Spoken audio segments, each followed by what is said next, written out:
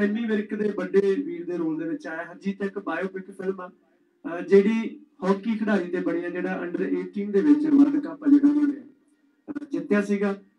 ਮੇਰੇ ਸਾਹਮਣੇ ਬੈਠੇ ਨੇ ਰਾਜ ਬਾਈ ਹੋਰੀ, ਬਿਨਾਂ ਕਿਸੇ ਦੇਰੀ ਦੇ ਤੁਹਾਨੂੰ ਉਹਨਾਂ ਦੇ ਨਾਲ ਰੂਬਰੂ ਕਰਦੇ ਆ। ਸਭ ਤੋਂ ਪਹਿਲਾਂ ਤਾਂ ਰਾਜ ਬਾਈ ਸਤਿ ਸ਼੍ਰੀ ਅਕਾਲ ਜੀ, ਤੁਹਾਡਾ ਸਵਾਗਤ ਹੈ ਰੇਡੀਓ ਦੀ ਟੀਮ ਵੱਲੋਂ। ਸਾਡੇ ਵਿਹੜੇ ਆਏ ਤੁਸੀਂ ਅੱਜ ਜੀ। ਸਤਿ ਸ਼੍ਰੀ ਅਕਾਲ ਜੀ। ਸਭ ਤੋਂ ਪਹਿਲਾਂ ਰੇਡੀਓ ਗੱਲ ਪੰਜਾਬ ਦੀ ਯੂਐਸਏ ਸੁਣਦੇ। ਸਾਰੇ ਸਰੋਤਿਆਂ ਨੂੰ ਸੁਣਦੇ ਤੇ ਦੇਖਦੇ ਸਾਰੇ ਸਰੋਤਿਆਂ ਨੂੰ ਮੇਰੇ ਨਾਲ ਰਾਜ ਸਿੰਘ ਚੰਦਰ ਜੀ ਜੇਕਰ ਹਰਜੀਤਾ ਨਾਲ ਆਪਾਂ ਜੁੜਨ ਦਾ ਸਬੱਬ ਬਾਰੇ ਸਭ ਤੋਂ ਪਹਿਲਾਂ ਆਪਾਂ ਜ਼ਿਕਰ ਕਰਾਂਗੇ ਕਿ ਹਰਜੀਤਾ ਨਾਲ ਕਿਵੇਂ ਸਬੱਬ ਬਣਿਆ? ਕਿਉਂਕਿ ਪਹਿਲਾਂ ਕਾਫੀ ਦੇਰ ਦੇ ਤੁਸੀਂ ਫਿਲਮਾਂ ਦੇ ਵਿੱਚ ਆਏ ਨਹੀਂ ਸੀਗੇ, ਉਸ ਤੋਂ ਪਹਿਲਾਂ ਤੁਸੀਂ ਸਭ ਤੋਂ ਪਹਿਲੀ ਫਿਲਮ ਨਾਬਰ ਕੀਤੀ, ਸਿਕੰਦਰ ਕੀਤੀ, ਫਿਰ ਦਿਲ ਦਿਲ ਪਿਆਰ ਕੀਤੀ। ਉਹਨਾਂ ਬਾਰੇ ਵੀ ਆਪਾਂ ਗੱਲ ਕਰਾਂਗੇ, ਪਰ ਇੱਕ ਗੈਪ ਦੇ ਬਾਅਦ ਇੱਕ ਲੁਕਿਆ ਹੋਇਆ ਬੰਦਾ ਇੱਕਦਮ ਸਾਹਮਣੇ ਆਉਂਦਾ, ਉਹ ਵੀ ਇੰਨੇ ਪਿਆਰੇ ਜਿਹੇ ਰੋਲ ਦੇ ਵਿੱਚ, ਜਿਹਦੇ ਕਦੇ ਸਿਰ ਤੇ ਪੱਗ ਕਿਸੇ ਨੇ ਦੇਖੀ ਨਹੀਂ ਹੋਣੀ ਅੱਜ ਤੱਕ ਨਾ ਫੇਸਬੁੱਕ ਦੀ ਪੋਸਟ ਤੇ ਨਾ ਵੈਸੇ ਅਸਲ ਜ਼ਿੰਦਗੀ ਦੇ ਵਿੱਚ। ਕਿਵੇਂ ਰੋਲ ਨਾਲ ਜੁੜਨ ਦਾ ਜਿਹੜਾ ਸਬੱਬ ਸੀਗਾ ਬਣਿਆ ਨਹੀਂ ਦੇਰ ਦੇ ਬਾਅਦ ਹਾਂਜੀ ਇਹ ਬਿਲਕੁਲ ਸੱਚ ਹੈ। ਮੈਂ ਮੇਰਾ ਜਿਹੜੀ ਪਿਛਲੀ ਫਿਲਮ ਰਿਲੀਜ਼ ਹੋਈ ਸੀ ਜੀ। ਗੁਰਦਾਸ ਮਾਨ ਜੀ ਨਾਲ ਦਿਲ ਵਿਲ ਪਿਆਰ ਵੈਰ ਰਿਲੀਜ਼ ਹੋਈ ਸੀ। ਤਾਂ ਇਹ 4 ਸਾਲ ਦਾ ਗੈਪ ਮੇਰਾ ਜੀ। ਸਕਰੀਨ ਦੇ ਨਾਲ। ਜਿਹਦੇ ਵਿੱਚ ਖੱਟੀਆਂ ਮਿੱਠੀਆਂ ਬਹੁਤ ਸਾਰੀਆਂ ਯਾਦਾਂ ਵੀ ਹੈ।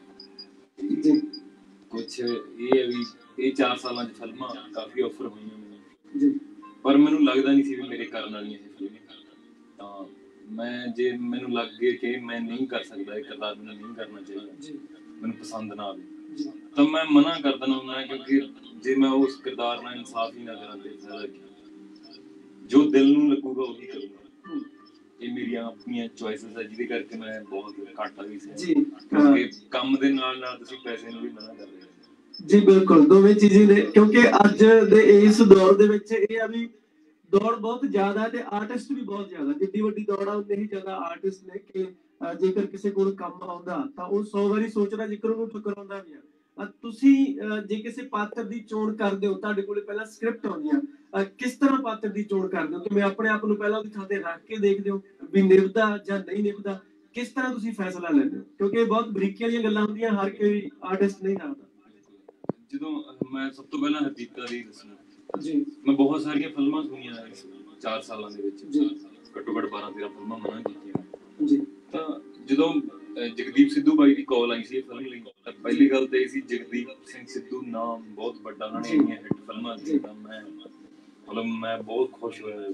ਬਹੁਤ ਹੈਰਾਨ ਵੀ ਸੀ ਮੈਨੂੰ ਬਹੁਤ। ਲੱਗਾ ਬਾਈ ਨੇ ਆਪਕੋ ਤਾਂ ਬਾਈ ਮੈਂ ਇਹਦੀ ਸਕ੍ਰਿਪਟ ਪੜ੍ਹੀ ਵੀ ਨਹੀਂ ਸੀ ਬਾਈ ਨੇ ਮੈਨੂੰ ਨਰੇਸ਼ਨ ਦਿੱਤੀ ਸੀ ਜਗਦੀਪ ਬਾਈ। ਜੀ ਵਿਜੇ ਅਰੋੜਾ ਜੀ ਸਾਡੇ ਡਾਇਰੈਕਟਰ ਸਾਹਿਬ ਜੀ ਉਹ ਕੋਲੇ ਹੀ ਬੈਠੇ ਸੀਗੇ ਜੀ ਤਾਂ ਵਿਜੇ ਅਰੋੜਾ ਜੀ ਨੂੰ ਮੈਂ ਤਰ੍ਹਾਂ ਜਾਣਦਾ ਸੀ ਮੈਨੂੰ ਪਤਾ ਸੀਗਾ। ਤਾਂ। ਮਤਲਬ ਉੱਥੇ ਮੈਨੂੰ ਸੋਚਣ ਦੀ ਵੀ ਲੋੜ ਨਹੀਂ ਪਈ ਜੀਤਾ ਲਈ ਮੈਨੂੰ ਕਿ ਮੈਨੂੰ ਕਰਨੀ ਚਾਹੀਦੀ ਹੈ ਨਹੀਂ। ਮੈਂ ਨਾਲ ਦੀ ਨਾਲ ਸੁਣਦੇ ਸਾਰ ਸਕ੍ਰਿਪਟ ਮੈਂ ਕਿਹਾ ਭਾਈ ਜੀ ਮੈਂ ਕਰੂੰਗਾ। ਪੱਗ ਦੇ ਲਈ ਕਿੰਨੀ ਕੁ ਮਿਹਨਤ ਕਰਨੀ ਪਈ? ਕਿ ਪੱਗ ਤੁਸੀਂ ਪਹਿਲਾਂ ਤੋਂ ਬੰਨਣੇ ਜਾਣਦੇ ਸੀਗੇ ਜਾਂ ਉਹਦੇ ਲਈ ਤਾਂ ਕਾਫੀ ਜ਼ਿਆਦਾ ਮਿਹਨਤ ਕਰਨੀ ਪੈਂਦੀ ਹੈ ਕਿਉਂਕਿ ਪੱਗ ਮੈਂ ਸਕੂਲ 'ਚ ਬੰਦਾ ਰਿਹਾ ਹੈਗਾ। ਜੀ। ਪੱਗ ਸਾਡੀ ਮਤਲਬ ਕਿ ਅਸੀਂ ਤਾਂ ਬਚਪਨ ਤੋਂ ਆਪਦੇ ਬਾਪੂ ਨੂੰ ਦਾਦੇ ਨੂੰ ਪੱਕਾ ਜੀ। ਜੀ ਦੇਖਿਆ। ਤਾਂ ਪੱਗ ਤਾਂ ਸਾਡੇ ਮੈਂ ਕਹੂੰਗਾ ਵੀ ਸਾਡਾ ਅਹਿਮ ਹਿੱਸਾ ਸਾਡੇ ਜਿਸਮ ਦਾ ਜੀ ਬਿਲਕੁਲ। ਤੇ ਫਿਲਮ ਦੇ ਵਿੱਚ ਪੱਗ ਦੀ ਲੋੜ ਮਹਿਸੂਸ ਤਦ ਹੋਈ ਜਦ ਮੇਰਾ ਹਰਜੀਤਾ ਦੇ ਨਾਲ ਜੀਤ ਦੇ ਨਾਲ ਜੀ। ਮੇਰਾ 10 ਕੁ ਸਾਲ ਦਾ ਏਜ ਗੈਪ ਦਿਖਾਇਆ। ਜੀ।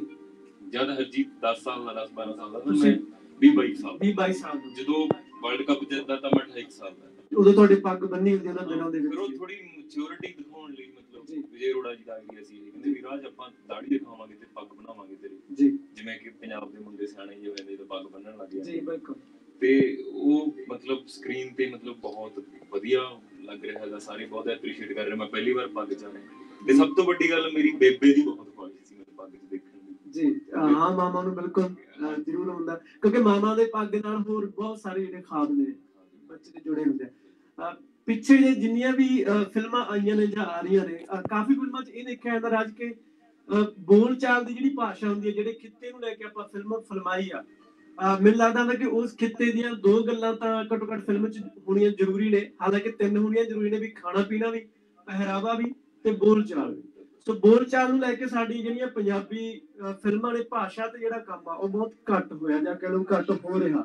ਸਿਕੰਦਰ ਦੇ ਬਹੁਤ ਸੋਹਣਾ ਕੰਮ ਸੀਗਾ ਸਿਕੰਦਰ ਬਾਰੇ ਗੱਲ ਕਰਾਂਗੇ। ਪਰ ਫਿਲਹਾਲ ਆਪਾਂ ਜੇਕਰ ਆਈਏ ਹਰਜੀਤੇ ਤੇ ਤਾਂ ਹਰਜੀਤੇ ਦੇ ਬੋਲ ਚਾਲ ਦੀ ਭਾਸ਼ਾ ਦਾ ਕਿੰਨਾ ਕੁ ਧਿਆਨ ਰੱਖਿਆ ਗਿਆ? ਜਿਹੜੇ ਖਿੱਤੇ ਨੂੰ ਅਹ, ਉਹ ਬਿਲੋਂਗ ਕਰਦਾ ਜਿਹੜੇ ਖਿੱਤੇ 'ਚ ਉਹ ਜੰਮਿਆ ਪੜਿਆ ਉੱਥੇ ਕਿੱਦਾਂ ਦੀ ਬੋਲ ਬਾਣੀਆਂ ਜਾਂ ਕਿੱਦਾਂ ਦੇ ਨਿਆਣਿਆਂ ਦੇ ਸ਼ੌਂਕ ਨੇ ਖੇਡਾਂ ਵੀ ਬਦਲ ਜਾਂਦੇ ਨੇ 30 40 ਕਿਲੋਮੀਟਰ ਤੱਕ ਜਾ ਕੇ ਤਾਂ ਬੋਲ ਚਾਲ ਦੇ ਸ਼ਬਦ ਵੀ ਬਦਲ ਜਾਂਦੇ ਇਸ ਚੀਜ਼ ਬਾਰੇ ਸਾਨੂੰ ਥੋੜਾ ਜਿਹਾ ਦੱਸੋ। ਉਹਦੇ ਲਈ ਜਗਦੀਪ ਬਾਈ ਨੇ ਬਹੁਤ ਮਿਹਨਤ ਕੀਤੀ। ਜੀ। ਜਗਦੀਪ ਬਾਈ ਪਿੰਡ ਜਾ ਕੇ ਰਿਹਾ ਉਹਨਾਂ ਨੇ ਹਰਜੀਤ ਦੇ ਨਾਲ ਰਿਹਾ ਬਹੁਤ ਟਾਈਮ ਅੱਛਾ ਇਕੱਠੇ ਟਾਈਮ ਸਪੈਂਡ ਕੀਤਾ ਉਹਨਾਂ ਨੇ। ਜਿਹੜਾ ਮੇਰਾ ਕਿਰਦਾਰ ਹੈ ਉਹ ਹਰਜੀਤ ਬਾਈ ਦੇ ਵੱਡੇ ਭਰਾ ਦਾ। ਜੀ। ਜਿਹੜਾ ਕਿ ਪਟਵਾਰੀ ਹੈ ਤੇ ਉਹ ਮਤਲਬ ਬਾਈ ਦੀ ਉਹ ਜਗਦੀਪ ਬਾਈ ਨੂੰ ਸਿਹਰਾ ਜਾਂਦਾ ਇਸ ਗੱਲ ਦਾ। ਉਹਨਾਂ ਨੇ ਇਹਨਾਂ ਚੀਜ਼ਾਂ ਦਾ ਬਹੁਤ ਖਿਆਲ ਰੱਖਿਆ। ਜੀ। ਜੋ ਕਿ ਤੁਹਾਨੂੰ ਫਿਲਮ 'ਚ ਦੇਖਣ ਨੂੰ ਮਿਲੂਗਾ। ਜੀ। ਤੇ ਜਗਦੀਪ ਬਾਈ ਦੀ ਖੂਬੀ ਹੈ ਇਹ ਉਹ ਬਹੁਤ ਰੂਟਸ ਜਾ ਕੇ ਕੰਮ ਕਰਦਾ ਹੈ ਜੀ। ਜੋ ਲਿਖਦਾ ਤਾਂ ਬਹੁਤ ਰੂਟਸ ਕੰਮ ਕਰਦਾ ਹੈ ਜੀ। ਤੇ ਵਿਜੇ ਅਰੋੜਾ ਜੀ ਮਤਲਬ ਇੰਨੇ ਮਿਹਨਤੀ ਆ ਮਤਲਬ ਛੋਟੀ ਛੋਟੀ ਚੀਜ਼ ਦਾ ਆਪ ਖੁਦ ਬਹੁਤ ਖਿਆਲ ਰੱਖਦੇ ਆ। ਜੀ। ਕੁੱਲ ਮਿਲਾ ਕੇ ਮਤਲਬ ਜਿਵੇਂ ਐਮੀ ਬਾਈ ਨੇ ਵੀ 22 ਕਿਲੋ weight ਘਟ ਵੇਟ ਘਟਾਇਆ ਉਹਨਾਂ ਹਾਂ ਕਾਫੀ ਮਿਹਨਤ ਕੀਤੀ। ਦੇਖਦੀ ਆ ਉਹ ਛੋਟਾ ਬੱਚਾ ਜਿਹੜਾ ਜਿਹਨੇ ਸਮੀਪ। ਤੁੱਲੀ ਦਾ ਰੋਲ ਕੀਤਾ ਸਮੀਪ ਨੇ ਸਮੀਪ ਮਤਲਬ ਸਵਿਮਿੰਗ ਸਿੱਖਦਾ ਉਹਦੇ ਲਈ ਉਹਨੂੰ ਦੱਸਿਆ ਨਾ ਤੇਰਾ ਚੱਪੜ ਦਾ ਸੀਨ ਹੈ। ਉਹ ਦੱਸਦਾ ਨਹੀਂ ਵੀ ਮੇਰੇ ਮੈਨੂੰ ਸਵਿਮਿੰਗ ਨਹੀਂ ਆਉਂਦੀ ਥੋੜਾ ਥੋੜਾ। ਸਿੱਖਣ ਚਲਾ ਜਾਂਦਾ। ਸਿੱਖਣ ਚਲਾ। ਮੇਰਾ ਸ਼ਾਟ ਹੈ। ਜੀ। ਤੇ ਹਾਕੀ ਕਿੰਨੇ ਫਾਈਨ ਸ਼ਾਟ ਮਾਰ ਰਹੇ ਹਾਕੀ ਦੇ ਵਿੱਚ। ਜੀ। ਸਭ ਨੇ ਬਹੁਤ ਮਿਹਨਤ ਕੀਤੀ ਹੈ ਬਹੁਤ ਬਰੀਕੀ ਚ ਕੰਮ ਕੀਤਾ ਇਸ ਵਿੱਚ ਜੀ। ਫਿਲਮ ਦੀਆਂ ਜਿਹੜੀਆਂ ਲੋਕੇਸ਼ਨਾਂ ਸੀ ਥਾਵਾਂ ਕਿਉਂ ਜਿਹੀਆਂ ਰਹੀਆਂ? ਤੇ ਫਿਲਮ ਜਦੋਂ ਅਸੀਂ ਪੁਰਾਣੀਆਂ ਫਿਲਮਾਂ ਦਾ ਕਈ ਵਾਰੀ ਸੈੱਟ ਦੇਖਦੇ ਹਾਂ ਵੀ ਜਿਵੇਂ ਬਦਲਾ ਜੱਟੀ ਦਾ ਹੋਵੇ ਜਾਂ ਹੋਰ ਪੁਰਾਣੀਆਂ ਫਿਲਮਾਂ ਨੇ ਤਾਂ ਉਹਨਾਂ 'ਚ ਪਿੰਡ ਦੇ ਲੋਕ ਆਮ ਖੜੇ ਹੁੰਦੇ ਨੇ। ਹਰ ਇੱਕ ਸੀਨ ਦੇ ਵਿੱਚ ਤੁਸੀਂ ਪਿੰਡ ਨਹੀਂ ਲੈ ਸਕਦੇ ਹਰ ਸੀਨ ਦੇ ਵਿੱਚ ਤੁਸੀਂ ਪਿੰਡ ਦਾ ਬੰਦਾ ਨਹੀਂ ਲੈ ਸਕਦੇ। ਪਰ ਮੈਨੂੰ ਲੱਗਦਾ ਕਿ ਤੁਸੀਂ ਉਹਨਾਂ ਨੂੰ ਦੇਖਣੋਂ ਵੀ ਨਹੀਂ ਰੋਕ ਸਕਦੇ ਦੂਰ ਜਾਂ ਨੇੜੇ ਖੜੇ ਨੂੰ। ਸੋ ਕਿੱਦਾਂ ਦਾ ਪਿੰਡ ਦੇ ਲੋਕਾਂ ਦੀ ਜਿਹੜੀ ਭਗਤ ਰਹੀ ਜਾਂ ਮਿਲਣਸਾਰ ਰਹੀ ਤੁਹਾਡੇ ਸਾਰੀ ਟੀਮ ਦੇ ਨਾਲ ਕਿੱਥੇ ਕਿੱਥੇ ਲੋਕੇਸ਼ਨਾਂ ਰਹੀਆਂ ਨੇ? ਇਹਦੀ ਜ਼ਿਆਦਾ ਸ਼ੂਟਿੰਗ ਹੀ ਮਤਲਬ ਜਿਹੜੀ ਹਰਜੀਤ ਦਾ ਪਿੰਡ ਦਾ ਘਰ ਦਿਖਾਇਆ ਹੈਗਾ ਜੀ। ਉਹ ਰਾਜਸਥਾਨ ਚ ਸ਼ੂਟ ਕੀਤਾ ਸੀ। ਜੀ। ਜਿੱਥੇ ਉਸ ਟਾਈਮ ਮਤਲਬ ਥੋੜਾ ਪਿੰਡ ਬੈਕਵਰਡ ਸੀਗਾ। ਜੀ। ਤੇ ਉਹ ਦਿਖਾਉਣ ਲਈ ਫਿਰ ਉੱਥੇ ਜਾਣਾ ਪਿਆ। ਬਾਪਰ ਰਾਜਸਥਾਨ ਦੇ ਲੋਕ ਬੜੇ ਕੋਆਪਰੇਟਿਵ ਆ। ਉਹ ਜੀ। ਬਿਲਕੁਲ ਵੀ ਇਹ ਜਿਹਾ ਕੋਈ ਪ੍ਰੋਬਲਮ ਨਹੀਂ ਕਰਦੇ ਜਾਂ ਇਕੱਠੇ ਹੋ ਕੇ ਖੜ ਜਾਣਗੇ ਜਾਂ ਗੱਲ ਨਹੀਂ ਮੰਨਣਗੇ। ਜੀ। ਤਾਂ ਮਤਲਬ ਕੋਈ ਇਹ ਜੀ ਦਿੱਕਤ ਨਹੀਂ ਆਈ ਸਾਨੂੰ ਮਤਲਬ ਸ਼ੂਟਿੰਗ ਕਰਦੇ ਵਕਤ। ਬੜੇ ਜੀ। ਆਰਾਮ ਨਾਲ ਬੜਾ smooth ਜੀ। ਸੈੱਟ ਦੇ ਉੱਪਰ ਅਹ, ਕੋਈ ਖੱਟੀ ਮਿੱਠੀ ਕੋਈ ਤੁਹਾਡੀ ਯਾਦ ਰਹੀ ਹੋਵੇ ਜੀ ਤੁਹਾਡੇ ਸੈੱਟ ਦੇ ਉੱਤੇ? ਅਹ, ਕੁਝ ਸਿੱਖਣ ਨੂੰ ਮਿਲਿਆ ਹੋਵੇ ਲੱਗਦਾ ਹੋਵੇ ਕਿ ਨਹੀਂ ਜੇ ਆਹ ਗਲਤੀ ਕੋਈ ਹੋਈ ਹੈ ਤਾਂ ਇਹਦੇ ਚੋਂ ਆਹ ਸਿੱਖਿਆ ਵੀ ਆਪਾਂ ਦੁਬਾਰਾ ਨਹੀਂ ਕਰਨਾ। ਅਹ, ਕਿਸੇ ਛੋਟੇ ਵੱਡੇ ਆਰਟਿਸਟ ਤੋਂ ਵੀ ਆਪਾਂ ਬਹੁਤ ਸਾਰੀਆਂ ਚੀਜ਼ਾਂ ਸਿੱਖਦੇ ਹਾਂ। ਸੋ ਕਿਸ ਤਰ੍ਹਾਂ ਦਾ ਰਿਹਾ ਐਮੀ ਹੋਰਾਂ ਨਾਲ ਕੰਮ ਕਰਨਾ ਤੇ ਪੂਰੀ ਟੀਮ ਦੇ ਨਾਲ? ਬਹੁਤ ਆਰਾਮ ਨਾਲ ਮੈਂ ਕੰਮ ਕੀਤਾ ਬਹੁਤ ਕੰਫਰਟੇਬਲ ਹੋ ਗਿਆ ਜਿਵੇਂ ਜਿਵੇਂ ਜਦੋਂ ਮੈਂ ਪਹਿਲੇ ਦਿਨ ਸੈੱਟ ਤੇ ਗਿਆ ਗਾ ਜੀ। ਤਾਂ ਮੇਰੇ ਲਈ ਤਾਂ ਨਵੀਂ ਟੀਮ ਸੀ ਮੈਂ ਕਦੇ ਮਿਲਿਆ ਨਹੀਂ ਸੀ ਇਹਨਾਂ ਨੂੰ ਕੰਮ ਨਹੀਂ ਕੀਤਾ। ਤਾਂ ਮੈਂ ਚੁੱਪ ਕਰਕੇ ਜਾ ਕੇ ਆਪਣੀ ਵੈਨਿਟੀ 'ਚ ਬੈਠ ਗਿਆ। ਜੀ। ਤੇ ਮੈਂ ਸੋਚ ਰਿਹਾ ਵੀ ਚਾਹ ਆ ਗਈ ਮੈਂ ਸੋਚ ਰਿਹਾ ਵੀ ਹੁਣ ਮੇਕਅਪ ਵਾਲਾ ਆ ਗਿਆ। ਉਹਨੇ ਮੇਕਅਪ ਕਰਤਾ ਜੀ। ਮੈਂ ਸੋਚ ਰਿਹਾ ਵੀ ਹੁਣ ਮੈਨੂੰ ਕਾਲ ਆ ਗਈ ਮੈਂ ਸੈੱਟ ਤੇ ਜਾਵਾਂ ਪਰ ਜੀ। ਉਲਟਾ ਹੋਇਆ ਇਹ ਵਿਜੇ ਅਰੋੜਾ ਜੀ ਏਡੇ ਵੱਡੇ ਬੰਦੇ ਆ। ਜੀ। ਉਹਨਾਂ ਨੇ ਨੌਕ ਕੀਤਾ ਮੈਂ ਦਰਵਾਜ਼ਾ ਖੋਲ੍ਹਿਆ ਵਿਜੇ ਅਰੋੜਾ ਜੀ ਆਪ ਖੁਦ ਜੀ। ਡਾਇਰੈਕਟਰ ਸਾਹਿਬ ਮੇਰੀ ਵੈਨਿਟੀ ਚ ਆਏ। ਜੀ। ਤੇ ਮੈਂ ਕਿਹਾ ਸਰ ਮੈਨੂੰ ਦੱਸ ਦੇ ਤੁਸੀਂ ਮੈਂ ਆ ਜਾਂਦਾ ਕਹਿੰਦੇ ਨਹੀਂ ਨਹੀਂ ਬੈਠ ਬੈਠ ਰਹਾ ਉਹਨਾਂ ਨੇ ਮੇਰੇ ਨਾਲ ਗੱਲ ਕਰਕੇ ਹਾਲ ਚਾਲ ਪੁੱਛ ਕੇ ਸੀਨ ਡਿਸਕਸ ਕੀਤਾ। ਜੀ। ਸੀਨ ਡਿਸਕਸ ਕਰਦੇ ਹੋਏ ਵਿਜੇ ਅਰੋੜਾ ਜੀ ਨਾਲ ਮਤਲਬ ਪਤਾ ਲੱਗ ਰਿਹਾ ਸੀ ਕਿ ਉਹ ਕਿੱਦਾਂ ਦੇ ਇਨਸਾਨ ਹੈ ਕਿੰਨੇ ਸਰਲ ਹੈ ਕਿੰਨੇ ਸੌਖੇ। ਆ। ਤਾਂ ਮੇਰੀ ਝਿਜਕ ਦੂਰ ਹੋ ਗਈ ਸੀ ਪਹਿਲੀ ਵਾਰ ਜੀ ਜੀ। ਅਰੋੜਾ ਜੀ ਨਾਲ ਬੈਠ ਕੇ। ਕਿਉਂਕਿ ਏਡੇ ਵੱਡੇ ਬੰਦੇ ਮੇਰੀ ਵੈਨਿਟੀ ਚ ਕੇ ਮੈਨੂੰ ਸੀਨ ਸਮਝਾ ਰਹੇ ਆ ਤੇ ਮੈਨੂੰ ਪੁੱਛ ਰਹੇ ਤੁਸੀਂ ਕੰਫਰਟੇਬਲ ਹੋ? ਜੀ। ਮਤਲਬ ਇਹ ਇੱਜ਼ਤ ਮਿਲਣੀ ਇਹ ਰਿਸਪੈਕਟ ਮਿਲਣੀ ਮੇਰੇ ਲਈ ਬਹੁਤ ਮੈਟਰ ਕਰਦੀ ਹੈ ਮਾਇਨੇ ਰੱਖਦੀ ਹੈ, ਜਿਹੜੀ ਮੈਂ ਭੁੱਲ ਨਹੀਂ ਸਕਦਾ। ਜੀ। ਜੇਕਰ ਗੱਲ ਕਰੀਏ ਫਿਲਮ ਦੇ ਪਾਤਰਾਂ ਦੀ ਤਾਂ ਫਿਲਮ ਦੇ ਪਾਤਰ ਜਿਉਂਦੇ ਜਾਗਦੇ ਨੇ ਸਾਹ ਭਰਦੇ ਨੇ। ਬਹੁਤ ਸਾਰੀਆਂ ਘੱਟ ਫਿਲਮਾਂ ਐਦਾਂ ਦੀਆਂ ਹੁੰਦੀਆਂ ਜਿਹਦੀ ਬਾਇਓਪਿਕ ਬਣਦੀ ਆ ਕਿ ਤੁਹਾਨੂੰ ਅਸਲ ਕਰੈਕਟਰ ਦੇ ਨਾਲ ਅਸਲ ਪਾਤਰ ਦੇ ਨਾਲ ਮਿਲਣ ਦਾ ਕਦੇ ਮੌਕਾ ਨਹੀਂ ਮਿਲਦਾ।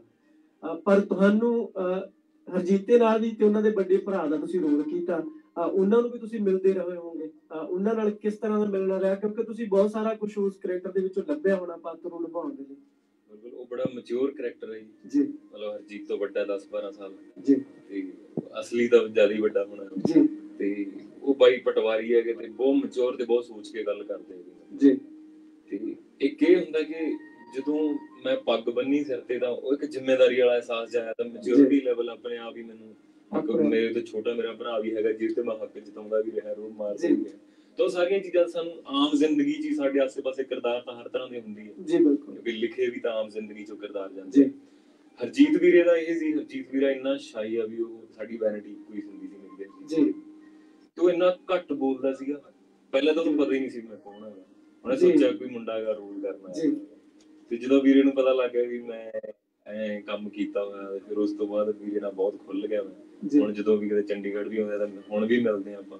ਤੇ ਉਹ ਮਿਲਣਾ ਗਿਲਣਾ ਸੀ ਜਿਹੜਾ ਉਹਨੇ ਬਹੁਤ ਹੈਲਪ ਕੀਤੀ ਕਿਰਦਾਰ ਨਿਭਾਉਣ ਦੇ ਵਿੱਚ ਜਿਵੇਂ ਜਗਦੀਪ ਬਾਈ ਨੇ ਵੀ ਬਹੁਤ ਮੈਨੂੰ ਮਤਲਬ ਮੈਂ ਮਤਲਬ ਕੰਨ ਬਹੁਤ ਖਾਦੇ ਬਾਈ ਦੇ ਜੀ ਕਿੱਦਾਂ। ਕੀ ਹਿਸਾਬ ਕਿਤਾਬ ਹੈ। ਕਿਵੇਂ ਗੱਲ ਕਰਦਾ ਹੈ ਕਿਸ ਲੈਵਲ ਦੀ ਇਹਦੀ ਮੈਚੁਰਿਟੀ ਹੈ ਕਿੰਨੀ ਗੱਲ ਕਰਦਾ। ਤਾਂ ਕੁੱਲ ਮਿਲਾ ਕੇ ਸਾਰੀ ਟੀਮ ਨੇ ਮਤਲਬ ਉਹਨਾਂ ਨੇ ਵੀ ਬਹੁਤ ਹੈਲਪ ਕੀਤੀ ਇਸ ਲਈ ਕਿਰਦਾਰਾਂ ਨੇ। ਜਗਦੀਪ ਬਾਈ ਨੇ ਤੇ ਵਿਜੇ ਅਰੋੜਾ ਜੀ ਨੇ। ਮੇਰਾ ਬਹੁਤ ਖਿਆਲ ਰੱਖਿਆ ਇਸ ਗੱਲ ਦਾ ਜੀ। ਜਿਵੇਂ ਮੈਨੂੰ ਮੈਂ ਉਹਨਾਂ ਨੂੰ ਕਹਿਦਾ ਸੀ ਇੱਕ ਵਾਰੀ ਸਰ ਮੇਰਾ ਖਿਆਲ ਰੱਖੋ ਥੋੜਾ ਜਿਹਾ। ਜੀ। ਮੈਂ ਬਹੁਤ ਚਿਰ ਬਾਅਦ ਸਕਰੀਨ ਤੇ ਆ ਰਿਹਾ ਕਿਉਂਕਿ ਮੈਂ ਡਰਿਆ ਹੋਇਆ ਸੀ ਕਿਉਂਕਿ ਟਾਈਮ ਬਾਅਦ screen ਤੇ ਕਿਉਂਕਿ ਤੁਹਾਡਾ ਸਮਾਂ ਕਾਫੀ ਬੀਤ ਗਿਆ। ਹਾਂਜੀ ਸਕਰੀਨ ਆਫ ਸਕਰੀਨ ਰਿਹਾ ਮੈਂ ਕਾਫੀ ਟਾਈਮ ਗੈਪ ਪੈ ਗਿਆ ਸੀਗਾ। ਤਾਂ ਹੱਸ ਪੈਂਦੇ ਸੀ ਕਹਿੰਦੇ ਰਾਜ ਤੂੰ ਬੇਫਿਕਰ ਕਰ ਰਿਹਾ ਸਾਨੂੰ ਪਤਾ ਹੈ ਤੂੰ ਕੀ ਕਰ ਸਕਦਾ ਤੇ ਕੀ ਕਰੇਗਾ ਜੀ। ਤੇ ਸਾਨੂੰ ਭਰੋਸਾ ਕਰੀ ਤੇ ਜੀ ਫਿਲਮ ਹਰਜੀਤਾ ਦਾ ਜਿਹੜਾ ਕਨਸੈਪਟ ਆ, ਉਹ ਲਗਭਗ ਤਿਆਰ ਪਿਆ 18 ਮਈ ਨੂੰ ਪੰਜਾਬੀ ਸਿਨੇਮਾ ਘਰਾਂ ਦਾ ਫਿਲਮ ਸ਼ਿੰਗਾਰ ਬਣ ਗਿਆ। ਹੁਣ ਆਪਾਂ ਥੋੜਾ ਜਿਹਾ ਅਹ ਦੇ ਨਾਲ ਉਹਨਾਂ ਦੀ ਜ਼ਿੰਦਗੀ ਬਾਰੇ ਆਪਾਂ ਜ਼ਰੂਰ ਗੱਲ ਕਰਾਂਗੇ। ਅੱਛਾ ਰਾਜ, ਬਹੁਤ ਸਾਰੀਆਂ ਚੀਜ਼ਾਂ ਹੁੰਦੀਆਂ ਨੇ ਜੋ ਤੁਹਾਨੂੰ ਪਿਤਾ ਤੋਂ ਮਿਲਦੀਆਂ ਨੇ, ਮਾਂ ਤੋਂ ਮਿਲਦੀਆਂ ਨੇ। ਪਿਤਾ ਨੂੰ ਗਾਂ, ਦਾਦੀ ਤੋਂ ਮਿਲਦੀਆਂ ਨੇ, ਦਾਦੀ ਤੋਂ ਮਿਲਦੀਆਂ ਨੇ। ਘਰ ਦੇ ਵਿੱਚ ਕਿਤੇ ਵੀ ਥੋੜੀ ਜਿਹੀ ਬਰੀਕੀ ਨਾਲ ਨਜ਼ਰ ਮਾਰਿਓ, ਕਿਤੇ ਵੀ ਕੋਈ ਸੀਗਾ ਜਿਹਨੂੰ ਸ਼ੌਂਕ ਸੀ, ਮੈਂ ਫਿਲਮਾਂ ਦੇ ਵਿੱਚ ਆਉਣਾ ਜਾਂ ਕੋਈ ਵੈਸੀ ਡਾਇਲੌਗ ਬੋਲਦਾ ਹੋਵੇ ਕਿਉਂਕਿ ਆਪਣੇ ਪਿੰਡਾਂ ਦੇ ਵਿੱਚ ਬੜੇ ਕੈਰੈਕਟਰ ਹੁੰਦੇ ਨੇ ਚਾਚਾ ਤਾਂ ਇੱਕ ਅੱਧਾ ਜਿਹਾ ਹੁੰਦਾ ਵੀ ਜਿਹੜਾ ਇਦਾਂ ਦੇ ਕੰਮ ਕਰ ਕਰ ਲੈਂਦਾ ਹੁੰਦਾ ਵੀ ਫਿਲਮ ਦਾ ਡਾਇਲੌਗ ਬੋਲ ਲਿਆ ਜਾਂ ਫਿਲਮਾਂ ਦੇਖਣੀ ਪਸੰਦ ਹੁੰਦੀਆਂ ਨੇ। ਮੈਨੂੰ ਲੱਗਦਾ ਕਿ ਫਿਲਮ ਦੇਖਣ ਵਾਲੇ ਜੇ 100 ਬੰਦਾ ਦੇਖ ਰਿਹਾ ਚੋਂ 90 ਚਾਹੁੰਦੇ ਹੋਣਗੇ ਕਿ ਮੈਂ ਵੀ ਪਰਦੇ ਤੇ ਆਵਾਂ। ਸੋ ਕੋਈ ਰਿਹਾ ਇਦਾਂ ਦੇ ਘਰ ਦੇ ਵਿੱਚ ਮਾਹੌਲ ਜਿਹੜਾ ਤੁਹਾਨੂੰ ਇਸ ਪਾਸੇ ਵੱਲ ਹੈ ਹਾਂਜੀ ਬਿਲਕੁਲ ਰਿਹਾ ਹੈਗਾ। ਮੇਰੇ ਬਾਪੂ ਜੀ ਜੀ। ਡੈਡੀ ਮੇਰੇ ਜੀ। ਉਹ ਆਪਣੀ ਟਰਾਂਸਪੋਰਟ ਹੁੰਦੀ ਸੀ ਟਰੱਕ ਟਰਾਂਸਪੋਰਟ ਦਾ ਉਹ ਬੰਬੇ ਜਾਂਦੇ ਹੁੰਦੇ ਜੀ। ਉਹ ਉੱਥੇ ਮਤਲਬ ਜਦੋਂ ਜਾਂਦੇ ਸੀ ਬੰਬੇ ਤਾਂ ਦੇਖਦੇ ਸੀ ਮਾਹੌਲ। ਜੀ। ਤੇ ਇੱਕ ਛੋਟੀ ਜਿਹੀ ਗੱਲ ਦੱਸੂਗਾ ਸ਼ਮੀ ਕਪੂਰ ਦੀ ਟਰਾਂਸਪੋਰਟ ਹੁੰਦੀ ਸੀ ਉਸ ਟਾਈਮ ਤੇ ਬਾਪੂ ਜੀ ਚਲੋ ਇਹ ਵੀ ਆਪਾਂ ਨੂੰ ਜੇ ਨਵੀਂ ਗੱਲ ਪਤਾ ਲੱਗੀ ਆ ਪੰਜਾਬੀ ਸਿਨੇਮਾ ਦੇ ਕਿ ਸ਼ਮੀ ਕਪੂਰ ਹੋਰਾਂ ਦੀ ਵੀ ਟਰਾਂਸਪੋਰਟ ਰਹੀ ਹੈ ਤੇ ਉੱਥੇ ਕਿਤੇ ਬਾਪੂ ਨੂੰ ਮਿਲਿਆ ਹੋਣਾ ਕਿਤੇ ਇੱਕ ਦੋ ਵਾਰੀ। ਸ਼ਮੀ ਕਪੂਰ ਮਿਲ ਗਿਆ ਰਸਤੇ 'ਚ। ਬਾਪੂ ਦੇ ਵਾਲ ਕੱਟੇ ਹੋਏ ਸੀ ਉਦੋਂ ਯੰਗ ਸੀ ਬਹੁਤ। ਜੀ। ਤੇ ਉਹ ਉਹਨਾਂ ਨੇ ਕਿਤੇ ਮਜ਼ਾਕ 'ਚ ਕਹਿਦਾ ਹੋਣਾ ਵੀ ਸਰਦਾਰ। ਸਿੰਘ ਕਿੱਧਰ ਟਰੱਕਾਂ ਦੇ ਧੱਕੇ ਖਾਣਾ ਬੰਦ ਫਿਲਮਾਂ ਤੇ ਬਾਪੂ ਫਿਲਮਾਂ ਦੇਖਦੇ ਬਹੁਤ ਸੀ ਜੀ। ਬਹੁਤ ਸ਼ੌਂਕ ਸੀ ਉਹਨਾਂ ਨੂੰ ਫਿਲਮਾਂ ਦੇਖਣ ਦਾ। ਤੇ ਬੰਬੇ ਗਏ ਇੱਕ ਵਾਰੀ ਮੇਰੇ ਲਈ ਜਿਓਮੈਟਰੀ ਲੈ ਕੇ ਆਈ ਸੀ। ਧਰਮਿੰਦਰ ਦੀ ਤੇ ਗੋਬਿੰਦ ਦੀ ਕੋਵਿਡ ਦੀ। ਕੋਟਾ ਜੀ ਦੀ ਸਿੱਖਿਆ ਵਾ ਉਹ ਆਪ ਹੀ ਮੈਨੂੰ ਮਤਲਬ ਇਹੋ ਜਿਹੀਆਂ ਚੀਜ਼ਾਂ ਲਿਆਉਂਦੇ ਚੀਜ਼ਾਂ ਲਿਆ ਤੇ ਉੱਥੋਂ ਮੈਨੂੰ ਵੀ ਸ਼ੌਂਕ ਪੈਂਦਾ ਗਿਆ ਬਾਪੂ ਜੀ ਜਦੋਂ ਫਿਲਮ ਦੇਖਦੇ ਸੀ ਸੈਟਰਡੇ ਨੂੰ ਉਦੋਂ ਫਿਲਮ ਆਉਂਦੀ ਹੁੰਦੀ ਸੀ ਜਿਸ ਟਾਈਮ ਤੇ ਟੀਵੀ ਚੱਲੇ ਚਾਰ ਵਜੇ ਚੱਲਣੀ ਸ਼ਾਮ ਹਾਂ, ਨੂੰ ਸ਼ਾਮ ਨੂੰ ਆਉਂਦੀ ਸੀ ਫਿਲਮ ਤਾਂ ਉਹ ਆਪ ਤਾਂ ਬਾਪੂ ਪੂਰੀ ਦੇਖਦਾ ਹੁੰਦਾ ਸੀਗਾ। ਮੈਨੂੰ। ਬਿਆਨ ਹੁੰਦਾ ਸੀ 15 ਕੁ ਮਿੰਟ ਦਿਖਾ ਕੇ ਵੀ ਤੂੰ ਪੜ੍ਹ ਹੁਣ ਜਾ ਕੇ। ਅੱਛਾ ਤੁਸੀਂ ਹੁਣ ਪੜੋ। ਕਿਤੇ ਨਾ ਕਿਤੇ ਪਿਤਾ ਦੇ ਅੰਦਰ ਇਹ ਸੁਪਨਾ ਤਾਂ ਸੀਗਾ ਪਰ ਮੈਂ ਫੇਸਬੁੱਕ ਪੜ੍ਹਦਾ ਰਹਿਣਾ ਤੁਹਾਡਾ ਮੈਂ ਉਹ ਪੋਸਟ ਵੀ ਮੈਂ ਤੁਹਾਡੀ ਪੜ੍ਹੀ ਸੀ ਜਿਹਦੇ ਵਿੱਚ ਤੁਸੀਂ ਘਰੋਂ ਇੱਕ ਵਾਰੀ ਥੋੜੀ ਬਹੁਤੀ ਨੋਕ ਝੋਕ ਜਿਹੜੀ ਪਿਓ ਪੁੱਤ ਦੀ ਹੋ ਜਾਂਦੀ ਹੈ ਚਲਾ ਜਾਂਦਾ। ਪਰ ਕੀ ਗੱਲ ਉਹਨਾਂ ਨੇ ਕਦੇ ਹਾਮੀ ਨਹੀਂ ਭਰੀ? ਵੀ ਤੂੰ ਇਸ ਪਾਸੇ ਜਾ ਕਰੋ ਦਿਲੋਂ ਇਸ ਚੀਜ਼ ਨੂੰ ਪਿਆਰ ਕਰਦੇ ਸੀਗੇ।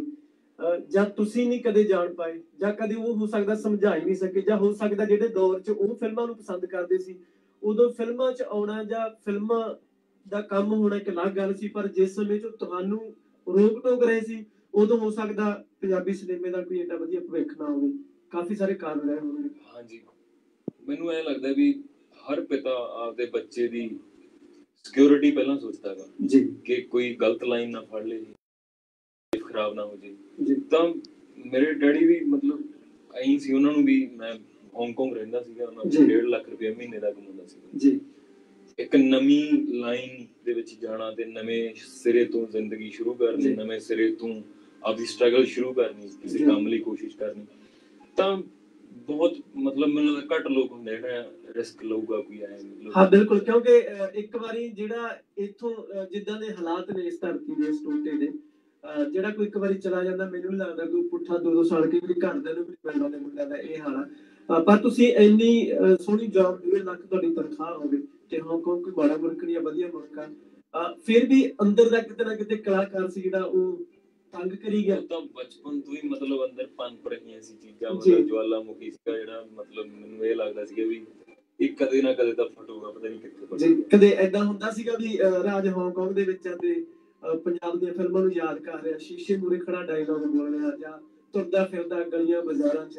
ਮੈਂ ਉੱਥੇ ਹਾਂਗਕਾਂਗ 'ਚ ਨਾ ਬੇਬੇ ਨਾਲ ਰਹਿੰਦਾ ਹੁੰਦਾ ਸੀਗਾ। ਤੇ ਬੇਬੇ ਮਤਲਬ ਸਵੇਰੇ ਜਦੋਂ ਮੇਰਾ ਟਿਫਨ ਪੈਕ ਹੋ ਜਾਂਦਾ ਸੀਗਾ ਤੇ ਮੈਂ ਤੁਰਨ ਲੱਗਦਾ ਸੀ। ਤਾਂ ਮੈਂ ਮੁੜ ਕੇ ਤੁਰਿਆ ਜਾਂਦਾ ਗੇਟ ਤੋਂ ਮੁੜ ਕੇ ਬੇਬੇ ਨੂੰ ਕਹਿੰਦਾ ਸੀ ਬੇਬੇ ਮੈਂ ਤੂੰ ਕੀ ਕਰਵਾ ਰਿਹਾ ਮੈਨੂੰ ਜਾਣ ਦਿਓ ਮੈਂ ਐਕਟਰ ਆ ਜੀ ਅੱਛਾ। ਤਾਂ ਹਮੇਸ਼ਾ ਕਹਿੰਦੀ ਸੀ ਬਸ ਥੋੜਾ ਚਿਰ ਹੋਰ ਨੌਕਰੀ ਕਰ ਲੈ ਫਿਰ ਮੈਂ ਤੈਨੂੰ ਆਪ ਭੇਜ ਦੂੰ ਮੈਂ ਤੈਨੂੰ ਆਪ ਭੇਜ ਦੂੰ। ਜੀ। ਤੇ ਉਹ ਇਹ ਸੀਗਾ ਵੀ ਮੇਰੇ ਅੰਦਰ ਤਾਂ ਉਹ ਚੀਜ਼ਾਂ ਹੈਗੀਆਂ ਸੀ ਮੈਂ ਬੇਬੇ ਤੋਂ ਜਿਵੇਂ ਮੈਂ ਫਾਈਟ ਸਿੱਖਣ ਲੱਗ ਗਿਆ ਫਿਰ। ਮੈਨੂੰ ਲੱਗਿਆ ਵੀ ਫਾਈਟ ਦੀ ਲੋੜ ਪੈਂਦੀ ਹੈ। ਜੀ। ਉਹ ਫਾਈਟ ਸਿੱਖਦੇ ਸਿੱਖਦੇ ਮੈਨੂੰ ਚਸਕਾ ਲੱਗ ਗਿਆ ਫਾਈਟ ਦਾ ਤੇ ਮੈਂ ਰਿੰਗ 'ਚ ਜਾਣ ਲੱਗ ਗਿਆ ਉਤਰਨ ਲੱਗ ਗਿਆ। ਤੇ ਉਹ ਮੇਰੇ ਜਿਹੜੀ ਅੱਖੋਂ ਕਿਤੇ ਸੱਟ ਵੱਜਣੀ ਜਾਂ ਮੂੰਹ ਤੇ ਕੁਸਨ ਨੂੰ ਕੁਸਨ ਵੱਜੇ ਹੋਣੇ ਮੈਨੂੰ ਘਰੇ ਬਹੁਤ ਗਾਲਾਂ ਪੈਂਦੀਆਂ ਸੀ ਕਿਉਂ ਕਰ ਰਿਹਾ ਹੈ ਕਿਉਂ ਕਰ ਰਹੇ? ਤਾਂ ਐਕਟਿੰਗ ਤਾਂ 24 ਘੰਟੇ ਮੇਰੀ ਚੱਲਦੀ ਹੁੰਦੀ ਸੀ ਮੈਂ ਮਤਲਬ ਬੇਬੇ ਨੂੰ ਡਾਲਰ ਬੋਲ ਬੋਲ ਦਿਖਾਈ ਜਾਂਦਾ ਸੀ ਬਹੁਤ ਸਾਰੀ ਚਮਟੇ ਵੀ ਕਰਦੇ ਬੇਬੇ ਚਮਟੇ ਹੀ ਕਰਦੇ ਕੀ ਬਾਤ ਹੈ। ਸੋ ਜੇਕਰ ਬੇਬੇ ਦੀ ਹੁਣ ਘਰ ਦੀ ਗੱਲ ਚੱਲੀਏ ਤਾਂ ਆਪਾਂ ਬਚਪਨ ਚ ਵੀ ਜਾਣਾ ਚਾਹਾਂਗੇ। ਬਚਪਨ ਕਿੱਦਾਂ ਦਾ ਰਿਹਾ? ਬਚਪਨ ਦੇ ਵਿੱਚ ਹੋ ਸਕਦਾ ਕਿਸੇ ਬੱਚੇ ਕੋਲੇ ਖਿਡੌਣੇ ਘੱਟ ਹੋਣ, ਬਾਕੀ ਪਦਾਰਥ ਘੱਟ ਹੋਵੇ, ਪਰ ਜਿਹੜੀ ਬਚਪਨ ਦੀ ਇੱਕ ਆਪਣੀ ਬਾਦਸ਼ਾਹੀ ਹੁੰਦੀ ਹੈ। ਸੋ ਉਹ ਬਾਦਸ਼ਾਹੀ ਕਿੱਦਾਂ ਦੀ ਬਾਦਸ਼ਾਹੀ ਬਹੁਤ ਸੀਗੀ। ਡੈਡ ਨੇ ਮੈਨੂੰ ਤਾਂ ਇੰਗਲਿਸ਼ ਮੀਡੀਅਮ ਸਕੂਲ ਚ ਬਰਨਾਲੇ ਲਾਇਆ ਹੋਇਆ ਸੀ। ਮੇਰੇ ਚਾਰ ਭੈਣ ਭਰਾ ਹੋਰ ਸੀ ਉਹ ਵਿਚਾਰੇ ਸਰਕਾਰੀ ਸਕੂਲ ਚ ਪਿੰਡ ਪੜ੍ਹਦੇ ਹੁੰਦੇ ਸੀ। ਸੋ ਕੀ ਗੱਲ ਜ਼ਿਆਦਾ ਤੁਸੀਂ ਇੰਟੈਲੀਜੈਂਟ ਮੇਰੇ ਹੋਗੇ ਤੇ ਜ਼ੋਰ ਜ਼ਿਆਦਾ ਇਸ ਕਰਕੇ ਲੱਗਿਆ ਹੋਇਆ ਸੀਗਾ। ਇੱਕ ਤੇ ਮੈਂ ਤਿੰਨ ਕੁੜੀਆਂ ਬਾਅਦ ਹੋਇਆ ਸੀ ਤਾਂ ਕਰਕੇ ਸਪੈਸ਼ਲ ਸੀਗਾ ਤੇ ਬਾਪੂ ਨੂੰ ਲੱਗਦਾ ਸੀ ਕੋਈ ਵੱਡਾ ਅਫਸਰ ਜੀ। ਬਣਾਉਂਗਾ ਪੜਾ ਲਿਖਾ ਕੇ। ਜੀ। ਪਰ ਮੈਂ ਚੌਥੀ ਕਲਾਸ ਤੋਂ ਹੀ ਮੈਨੂੰ ਪਤਾ ਸੀ ਮੈਂ ਐਕਟਰ ਬਣਨਾ ਦਾ ਬੜਾ ਧਿਆਨ ਨਹੀਂ ਸੀ ਦਿੰਦਾ ਮੈਂ ਪੜ੍ਹਾਈ 'ਚ ਬਸ ਪਾਸ ਹੋ ਜਾਂਦਾ ਹੁੰਦਾ ਸੀ ਉਹਨੇ ਕੀ ਹੁੰਦਾ ਸੀ ਤੇ ਮੈਨੂੰ ਕਦੇ ਵੀ ਮਤਲਬ ਹੱਲਾ ਘਰ ਦੇ ਹਾਲਾਤ ਕਿਹੋ ਜਿਹੇ ਵੀ ਰਹੇ ਹੋਣ। ਜੀ। ਪਰ ਹਮੇਸ਼ਾ ਮੈਨੂੰ ਫਸਟ ਪ੍ਰੈਫਰੈਂਸ ਹੁੰਦੀ ਹੁੰਦਾ ਸੀ ਮੈਂ ਤੇ ਮੈਨੂੰ ਹਰ ਚੀਜ਼ ਮਿਲਦੀ ਸੀ। ਜੀ। ਤੇ ਬਾਪੂ ਨੇ ਕਦੇ ਵੀ ਐਂ ਨਹੀਂ ਸੀ ਕੀਤਾ ਵੀ ਕੋਈ ਚੀਜ਼ ਨਾ ਮਿਲੀ ਹੋਵੇ ਮੈਨੂੰ। ਜੀ। ਬਹੁਤ ਮਤਲਬ ਮਨ ਦਾ ਲਾਡਲਾ ਸੀ। ਬਿਲਕੁਲ। ਕਿਉਂਕਿ ਬਹੁਤ ਸਾਰੇ ਆਰਟਿਸਟ ਜਿਹੜੇ ਆਉਂਦੇ ਨੇ ਉਹਨਾਂ ਦੀ ਲਾਈਫ ਜਾਂ ਬਚਪਨ ਦੇਖਣ ਵਾਲਾ ਹੁੰਦਾ। ਬਹੁਤ ਸਾਰੇ ਆਰਟਿਸਟਾਂ ਨੂੰ ਬਚਪਨ ਦੇ ਵਿੱਚ ਮਤਲਬ ਕਿ ਪਹਿਲਾਂ ਹੀ ਉਹ ਇੰਨਾ ਕਿ ਜ਼ਿਆਦਾ ਮੈਚੁਰ ਜਾਂ। ਮੈਂ ਪਕੜ ਬਣ ਜਾਂਦੇ ਨੇ। ਮੈਂ ਖਰਚਾ ਬਹੁਤ ਘੱਟ ਕਰਵਾਉਂਦਾ ਹੁੰਦਾ ਸੀਗਾ। ਮੈਂ। ਮੈਨੂੰ ਬਹੁਤ ਜ਼ਿਆਦਾ ਜ਼ਿਆਦਾ ਕੋਸ਼ਿਸ਼ ਹੁੰਦੀ ਸੀ ਮੇਰੀ ਕਿਉਂਕਿ ਮੈਨੂੰ ਹਾਲਾਤ ਪਤਾ ਸੀ ਘਰ ਦੇ। ਤੇ ਮੈਂ ਦੱਸਦਾ ਵੀ ਨਹੀਂ ਸੀ ਹੁੰਦਾ ਮੇਰੇ ਕੋਲ ਪੈਸੇ ਹੈਗੇ ਜਾਂ ਨਹੀਂ ਹੈਗੇ। ਤੇ। ਡੈਡ ਮਤਲਬ ਮੈਨੂੰ ਪੁੱਛਦੇ ਹੁੰਦੇ ਸੀ ਤੇਰੇ ਕੋਲ ਪੈਸੇ ਹੈਗੇ? ਮੈਂ ਕਹਣਾ। ਹਾਂਜੀ। ਉਹਨੇ ਕਹਿਣਾ ਦਿਖਾ ਤਾਂ ਮੇਰੇ ਕੋਲ ਹੁੰਦੇ ਨਹੀਂ ਸੀ ਤਾਂ ਉਹਨਾਂ ਨੇ। ਗੁੱਸੇ ਹੋਣਾ ਵੀ ਤੂੰ ਝੂਠ ਕਿਉਂ ਬੋਲ ਰਿਹਾ ਰਾਜ ਹਾਂਗਕਾਂਗ ਤੋਂ ਆਉਂਦਾ ਇੱਕ ਮਨ ਬਣਾ ਕੇ ਕਿ ਮੈਂ ਹੀਰੋ ਬਣਨਾ ਹੈ ਇੱਥੇ ਕੋਈ ਕਿਸੇ ਇੰਡਸਟਰੀ 'ਚ ਕਿਸੇ ਨਾਲ ਕੋਈ ਲਿੰਕ ਨਹੀਂ।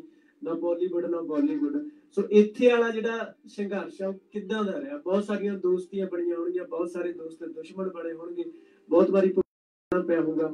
ਵੀ ਕਹਿਣ ਤੋਂ ਜ਼ਿੰਦਗੀ ਦਾ ਇੱਕ ਸੋਹਣਾ ਲੈਸਨ ਤੁਸੀਂ ਸਿੱਖਿਆ ਹੋਊਗਾ। ਸੋ ਕਿੱਦਾਂ ਘਰ ਦੇ ਵਿੱਚ ਮਾਹੌਲ ਬਣਾਇਆ ਕਿ ਮੈਂ ਤਾਂ ਜਾਣ ਹੀ ਜਾਣਾ? ਕਿਉਂਕਿ ਤੁਸੀਂ ਜਿੱਡੇ ਵੀ ਵੱਡੇ ਹੋ ਜਾਓ, ਜਿਹੜੇ ਮਾਲਵੇ ਦੇ ਪਿੰਡ ਆਪਾਂ ਜ਼ਿਕਰ ਕਰੀਏ, ਤਾਂ ਸਾਨੂੰ ਇਹ ਹੁੰਦਾ ਵੀ ਇੱਕ ਵਾਰੀ ਯਾਰ ਮਾਂ ਪਿਓ ਹਾਨੀ ਭਰਦੇ ਨਹੀਂ ਤਾਂ ਬੱਚਾ ਹੁੰਦਾ ਵੀ ਮਾਂ ਪਿਓ ਦੇ ਉੱਪਰ ਦੀ ਬਾਹਰ ਹੋ ਕੇ ਚਲਾ ਗਿਆ। ਇੱਕ ਹੁੰਦਾ ਵੀ ਨਹੀਂ ਮਾਂ ਪਿਓ ਹਾਮੀ ਭਰਦੇ। ਸੋ ਕਿੱਦਾਂ ਮਾਹੌਲ ਬਣਾਇਆ ਘਰ ਦੇ ਵਿੱਚ?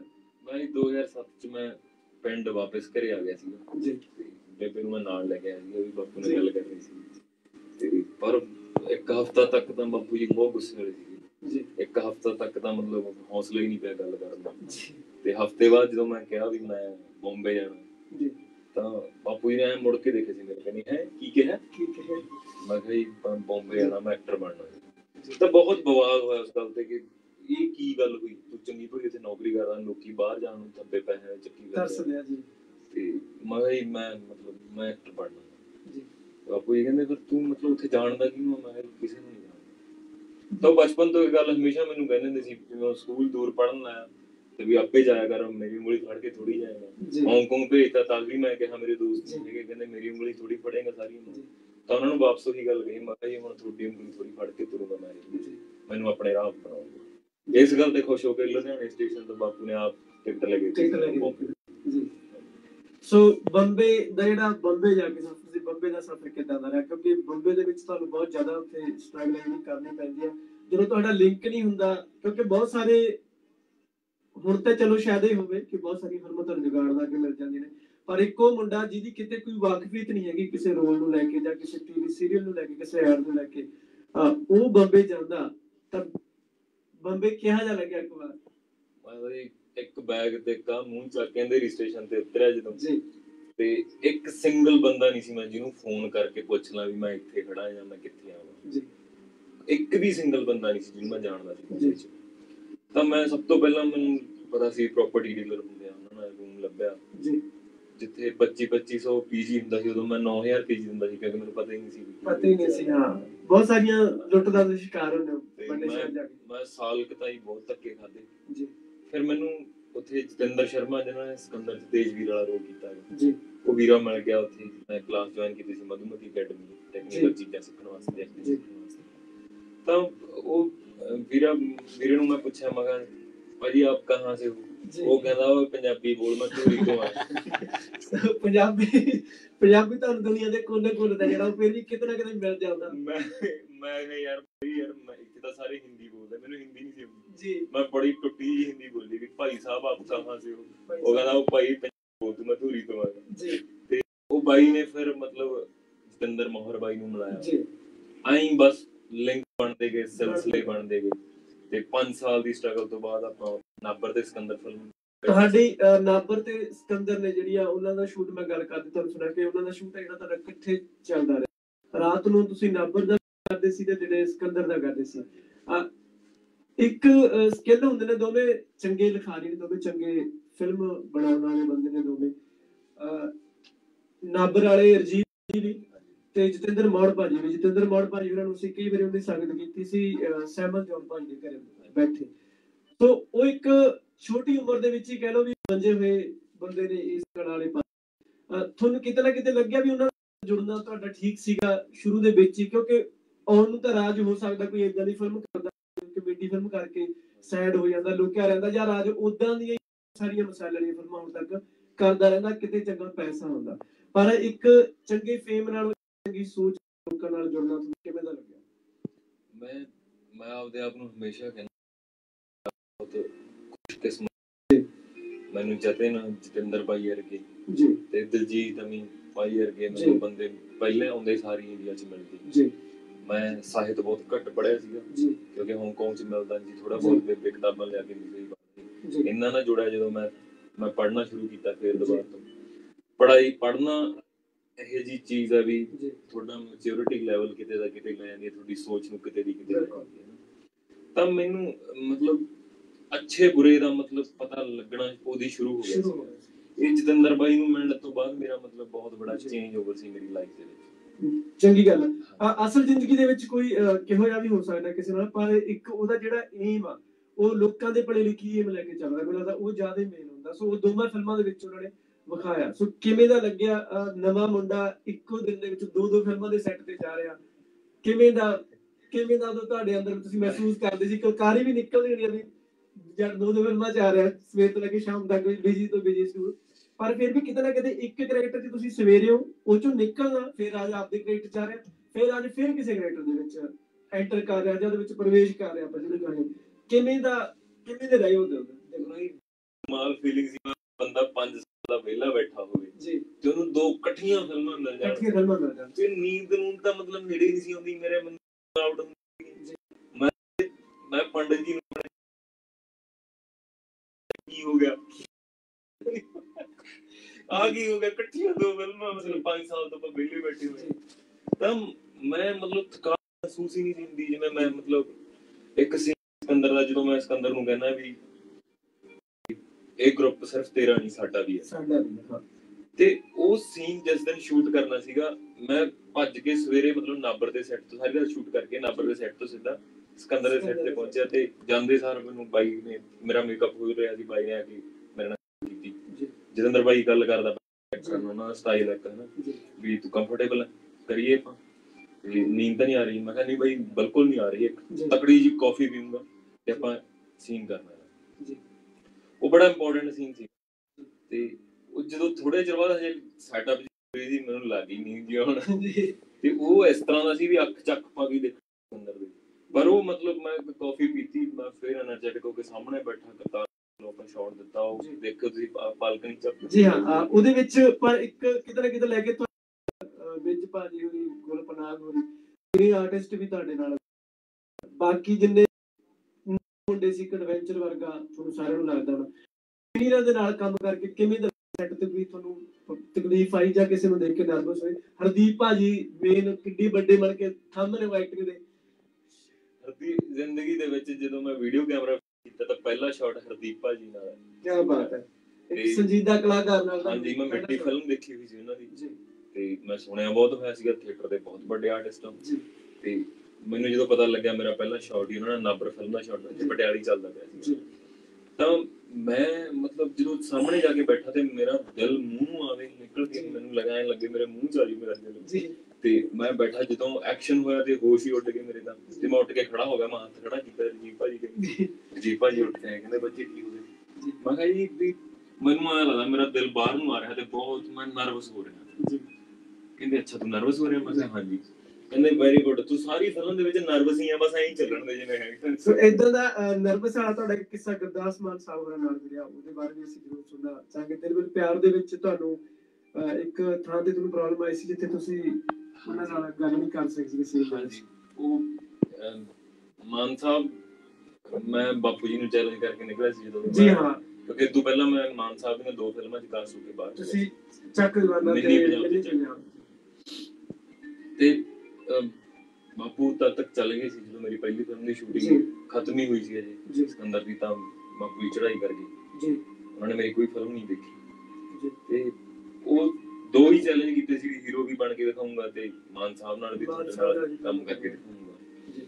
ਤਾਂ ਜਿਸ ਦਿਨ ਮਾਨ ਸਾਹਿਬ ਨਾਲ ਮੇਰਾ ਸ਼ੂਟ ਸੀ ਦਿਲਵਿਲ ਦਾ ਪਹਿਲੇ ਦਿਨ ਤਾਂ ਇੱਕ ਛੋਟੀ ਜਿਹੀ ਲਾਈਨ ਸੀਗੀ ਬੋਲਣੀ ਮੈਂ। ਜੀ।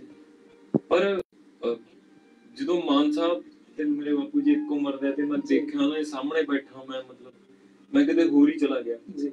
ਤੇ ਉਤੋਂ ਉਹਨਾਂ ਦਾ ਔਰਾ ਐਡਾ ਮਾਨ ਸਾਹਿਬ ਦਾ ਮਤਲਬ ਜੀ। ਐਡੀ ਪਰਸਨੈਲਿਟੀ ਆ ਮੇਰੀ ਆਵਾਜ਼ ਨਾਲ ਨਿਕਲ ਜੀ। ਤੇ ਉਹ ਮਤਲਬ ਮੇਰੀ ਤਾਰੀਫ ਬਹੁਤ ਹੋਈ ਵੀ ਸੀ ਮਾਨਵੀਰ ਵਰਗੇ ਨੇ ਜੀ। ਬਹੁਤ ਤਾਰੀਫ ਕੀਤੀ ਸੀ ਐਕਟਰ ਬਹੁਤ ਵਧੀਆ। ਜੀ। ਮੈਂ ਫੰਬਲ ਮਾਰੀ ਆ। ਜੀ। ਤੇ ਫਿਰ ਮਾਨ ਸਾਹਿਬ ਨੇ ਦੇਖ ਲਿਆ ਮਾਨ ਸਾਹਿਬ ਬਹੁਤ ਜਲਦੀ ਸਮਝ ਜਾਂਦੇ ਆ ਕਹਿੰਦੇ ਵੀ ਇੱਧਰ ਆ ਰਾਜ ਆਪਾਂ ਗੱਲ ਕਰ ਰਹੇ ਸਾਈਡ ਤੇ ਜੀ। ਆਪਾਂ ਕਾਫੀ ਪੀਣੀ ਆ ਮੈਨੂੰ ਕਹਿੰਦੇ ਕੀ ਹੋ ਗਿਆ? ਮੈਂ ਕਿਹਾ ਜੀ ਤੁਹਾਡਾ ਔਰਾ ਹੀ ਐਡਾ ਵੀ ਮੈਥੋਂ ਬੋਲ ਹੀ ਨਹੀਂ ਹੋ ਰਿਹਾ ਇਹਨੇ ਹਾਂਜੀ, ਕਹਿੰਦੇ ਮੈਨੂੰ ਮੈਂ ਸੁਣਿਆ ਤੂੰ ਪਹਿਲਾਂ ਮੇਰੇ ਨਾਲ ਦੋ ਫਿਲਮਾਂ ਚ ਕਾਸਟ ਹੋਇਆ। ਮੈਂ ਕਿਹਾ ਜੀ। ਹਾਂਜੀ ਮੈਂ ਪਹਿਲਾਂ ਨਹੀਂ ਪੰਜਾਬ ਤੇ ਚੱਕ ਚਵਾਨਾ ਸੀ। ਜੀ। ਕਹਿੰਦੇ ਤੈਨੂੰ ਪਤਾ ਰਾਜ ਤੈਨੂੰ ਫਿਲਮਾਂ ਕਿਉਂ ਨਹੀਂ ਮਿਲੀਆਂ? ਕਿਉਂਕਿ ਤੂੰ ਉਦੋਂ ਰੈਡੀ ਨਹੀਂ ਸੀ ਜੀ। ਅੱਜ ਤੂੰ ਇਹ ਸੈੱਟ ਤੇ ਆ ਤੇ ਮੈਂ ਤੇਰੇ ਬਾਰੇ ਸੁਣਿਆ ਹੋਇਆ ਵੀ ਸੈੱਟ ਜੀ। ਤੂੰ ਇਹਦੇ ਲਈ ਰੈਡੀ ਹੈਗਾ। ਜੀ। ਇਸ ਕਰਕੇ ਤੈਨੂੰ ਹੁਣ ਜਾ ਕੇ ਚੀਜ਼ਾਂ ਮਿਲੀਆਂ ਤੇ ਜਦੋਂ ਮੌਕਾ ਹੋਵੇ ਉਦੋਂ ਕਰਕੇ ਦਿਖਾਈਦਾ ਹੁਣ। ਇਹ ਮੌਕਾ ਤੂੰ ਕਰਕੇ। ਅਹ ਦੋ ਫਿਲਮਾਂ ਜੇਕਰ ਆਪਾਂ ਛੁੱਟਣ ਦੀ ਵੀ ਗੱਲ ਕਰੀਏ ਉਹ ਸਿਆਣੇ ਕਹਿੰਦੇ ਨੇ ਕਿ ਜੋ ਪ੍ਰਮਾਤਮਾ ਕਰਦਾ ਉਹ ਚੰਗੇ ਕਰਦਾ ਜੇ ਕਿਸੇ ਨੂੰ ਪ੍ਰਮਾਤਮਾ ਵਰਗੀ ਸ਼ਾਇਦ ਤੇ ਵਿਸ਼ਵਾਸ ਹੈ ਤਾਂ ਪਰ ਪੰਜਾਬੀ ਫਿਲਮਾਂ ਦੇ ਵਿੱਚ ਕਿਤੇ ਨਾ ਕਿਤੇ ਤੁਹਾਨੂੰ ਲੱਗਦਾ ਕਿ ਅਜੇ ਵੀ ਉਹ ਜੁਗਾੜੂ ਸਿਸਟਮ ਹੈਗਾ ਕਿ ਲੋਕ ਜੁਗਾੜ ਲਾ ਕੇ ਫਿਲਮਾਂ ਲੈ ਜਾਂਦੇ ਨੇ ਜਾਂ ਕਿਸੇ ਦਾ ਰੋਲ ਖੋਹ ਲੈਂਦੇ ਨੇ ਪੰਜਾਬੀ ਫਿਲਮਾਂ 'ਚ ਇਹ ਚੀਜ਼ ਚੱਲਦੀ ਹੈ ਮੈਨੂੰ ਐਂ ਲੱਗਦਾ ਵੀ ਪੋਲਿਟਿਕਸ ਤਾਂ ਹਰ ਜਗ੍ਹਾ ਹੀ ਹੁੰਦੀ ਆ ਹਰ ਫੀਲਡ 'ਚ ਹੁੰਦੀ ਆ ਜੇ ਕੋਈ ਕਹਿੰਦਾ ਵੀ ਮੈਂ ਪੋਲਿਟਿਕਸ ਨਹੀਂ ਕਰਦਾ ਤਾਂ ਉਹ। ਝੂਠ ਬੋਲ ਰਿਹਾ ਜੀ। ਤੇ ਇਹ ਪੰਜਾਬੀ ਫਿਲਮਾਂ 'ਚ ਵੀ ਹੈਗਾ ਹੀ ਆ ਬਹੁਤ ਸਾਰੇ। ਮੈਨੂੰ ਮਤਲਬ ਮੈਨੂੰ ਪਤਾ ਹੁੰਦਾ ਵੀ ਮੇਰਾ ਮਨਾ ਕਰਵਾਤਾ ਕਿਸੇ ਨੇ। ਜੀ। ਮੈਂ ਕਾਸਟ ਹੋਇਆ ਵਾ ਬਾਹਰ ਹੋਇਆ ਹਜੇ ਵੀ ਹੋਇਆ ਨਾ ਮੈਂ ਕਾਸਟ ਹੋਇਆ। ਜੀ। ਮੈਂ ਹੁਣ ਨਾਂ ਨਹੀਂ ਲਊਂਗਾ ਫਿਲਮ ਦਾ। ਜੀ। ਮੇਰੇ ਖਾਸ ਨਹੀਂ ਮਤਲਬ ਜਿਹੜਾ ਮੈਨੂੰ ਜਾਣਦਾ ਉਹ ਨਹੀਂ ਬਾਹਰ ਤਾਂ ਮੈਨੂੰ ਹੈਰਾਨੀ ਨਹੀਂ ਹੁੰਦੀ ਹੁਣ ਇਹ ਚੀਜ਼ਾਂ। ਪਰ ਫਿਲਮ ਬਣਾਉਣ ਵਾਲਿਆਂ ਨੂੰ ਕਿਤੇ ਨਾ ਕਿਤੇ ਉਹਨਾਂ ਨੂੰ ਨਹੀਂ ਲੱਗਦਾ ਕਿ ਉਹ ਇੱਕ ਚੰਗਾ ਆਰਟਿਸਟ ਖੋ ਰਹੇ ਨੇ। ਉਹ ਕਮਾਉਣਾ ਕੀ ਚਾਹੁੰਦੇ ਨੇ? ਉਹ ਪੈਸਾ ਕਮਾਉਣਾ ਚਾਹੁੰਦੇ ਨੇ? ਜੇ ਪੈਸਾ ਕਮਾਉਣਾ ਚਾਹੁੰਦਾ ਚਾਹੁੰਦੇ ਨੇ ਤਾਂ ਇੱਕ ਉਹਨਾਂ ਨੂੰ ਇੱਕ ਸੰਜੀਦਾ ਆਰਟਿਸਟ ਆ ਜਿਹੜਾ ਫਿਲਮ ਦੇ ਵਿੱਚ ਲੈਣੇ ਪਊਗਾ ਇੱਕ ਗੰਭੀਰ ਚਿਹਰਾ ਉਹਨਾਂ ਨੂੰ ਲੈਣੀ ਪਊਗਾ ਜੇਕਰ ਉਹਨਾਂ ਨੇ ਫਿਲਮ ਸਿਕੰਦਰ ਵਰਗੀ ਕਰਨੀ ਨਾਬਰ ਵਰਗੀ ਕਰਨੀ ਹੈ ਜਾਂ ਹੋਰ ਕੋਈ ਇਦਾਂ ਦਾ ਕਰੈਕਟਰ ਫਿਲਮਾਉਣਾ ਪਰ ਫਿਰ ਵੀ ਇਹ ਚੀਜ਼ ਦੀ ਕਦੇ ਸਮਝ ਨਹੀਂ ਆਈ ਕਿ ਚਲੋ ਸਾਗ 'ਚ ਤਾਂ ਭਾਨੀ ਵੱਜਦੀ ਸੁਣੀ ਸੀ ਕਿ ਫਿਲਮ ਦੇ ਵਿੱਚ ਵੀ ਭਾਨੀ ਵੱਜਦੀ ਹੈ ਕਿਉਂਕਿ ਜੋ ਜੋ ਰਾਜ ਕਰ ਸਕਦਾ ਮੈਨੂੰ ਲੱਗਦਾ ਵੀ ਉਹ ਦੂਜਾ ਕਰ ਸਕਦਾ। ਜਿੱਥੇ ਰਾਜ ਦੀ ਲੋੜ ਆ ਜਿੱਥੇ ਫਿਲਮ ਮੰਗ ਕਰਦੀ ਹੈ ਜਿੱਥੇ ਡਾਇਰੈਕਟਰ ਵੀ ਮੰਗ ਕਰਦਾ ਸਕ੍ਰਿਪਟ ਮੰਗ ਕਰਦੇ ਕਿ ਇਹ ਚ ਰਾਜ ਹੀ ਹੋਣਾ ਚਾਹੀਦਾ। ਉੱਥੇ ਵੀ ਬੰਦਾ ਕਿਸੇ ਦੂਜੇ ਬੰਦੇ ਦੀ ਗੱਲ ਸੁਣ ਕੇ ਰਾਜ ਨੂੰ ਕਦੇ ਵੀ ਨਹੀਂ ਕਾਕਾ ਫਿੱਟ ਨਹੀਂ ਆਏਗਾ ਸਾਡੀ ਇੰਡਸਟਰੀ ਦੀ ਤਰਾਸ਼ਦੀ ਹੈ ਵੀਰੇ ਵੀ ਜਿਵੇਂ ਬੰਬੇ ਬਹੁਤ ਪ੍ਰੋਫੈਸ਼ਨਲ ਲੱਗੇ ਜੀ। ਉਹਨਾਂ ਨੂੰ ਜੋ ਚਾਹੀਦਾ ਉਹਨਾਂ ਨੇ ਉਹੀ ਲੈਣਾ। ਜੀ। ਸਾਡੇ ਸਭ ਤੋਂ ਪਹਿਲਾਂ ਆਪਣਾ ਸਰਕਲ ਦੇਖਿਆ ਜਾਂਦਾ ਵੀ ਯਾਰ ਮੇਰੇ ਸਰਕਲ ਦੇ ਬੰਦੇ ਫਿੱਟ ਨੇ। ਜਿਹੜੇ ਮੇਰੇ ਦੋਸਤ ਆ ਉਹ ਫਿੱਟ ਨੇ ਜੀ। ਡਿਮਾਂਡ ਕੈਰੈਕਟਰ ਦੀ ਕੁਝ ਵੀ ਹੋਵੇ ਉਹਨਾਂ ਨੇ ਆਪ ਦਾ ਕੋਈ ਨਾ ਕੋਈ ਦੋਸਤ ਫਿੱਟ ਕਰਨਾ। ਜੀ। ਹੈਗੀਆਂ ਇਹ ਚੀਜ਼ਾਂ। ਪਰ ਪ੍ਰੋਫੈਸ਼ਨਲ ਵੀ ਹੁਣ ਬਹੁਤ ਹੈਗੇ ਜਿਵੇਂ ਜੀ। ਮਤਲਬ ਹੁਣ ਜਗਦੀਪ ਬਾਈ ਦਾ ਸਰਕਲ ਕਿੱਡਾ ਵੱਡਾ ਹੋ ਗਿਆ। ਜੀ ਬਿਲਕੁਲ।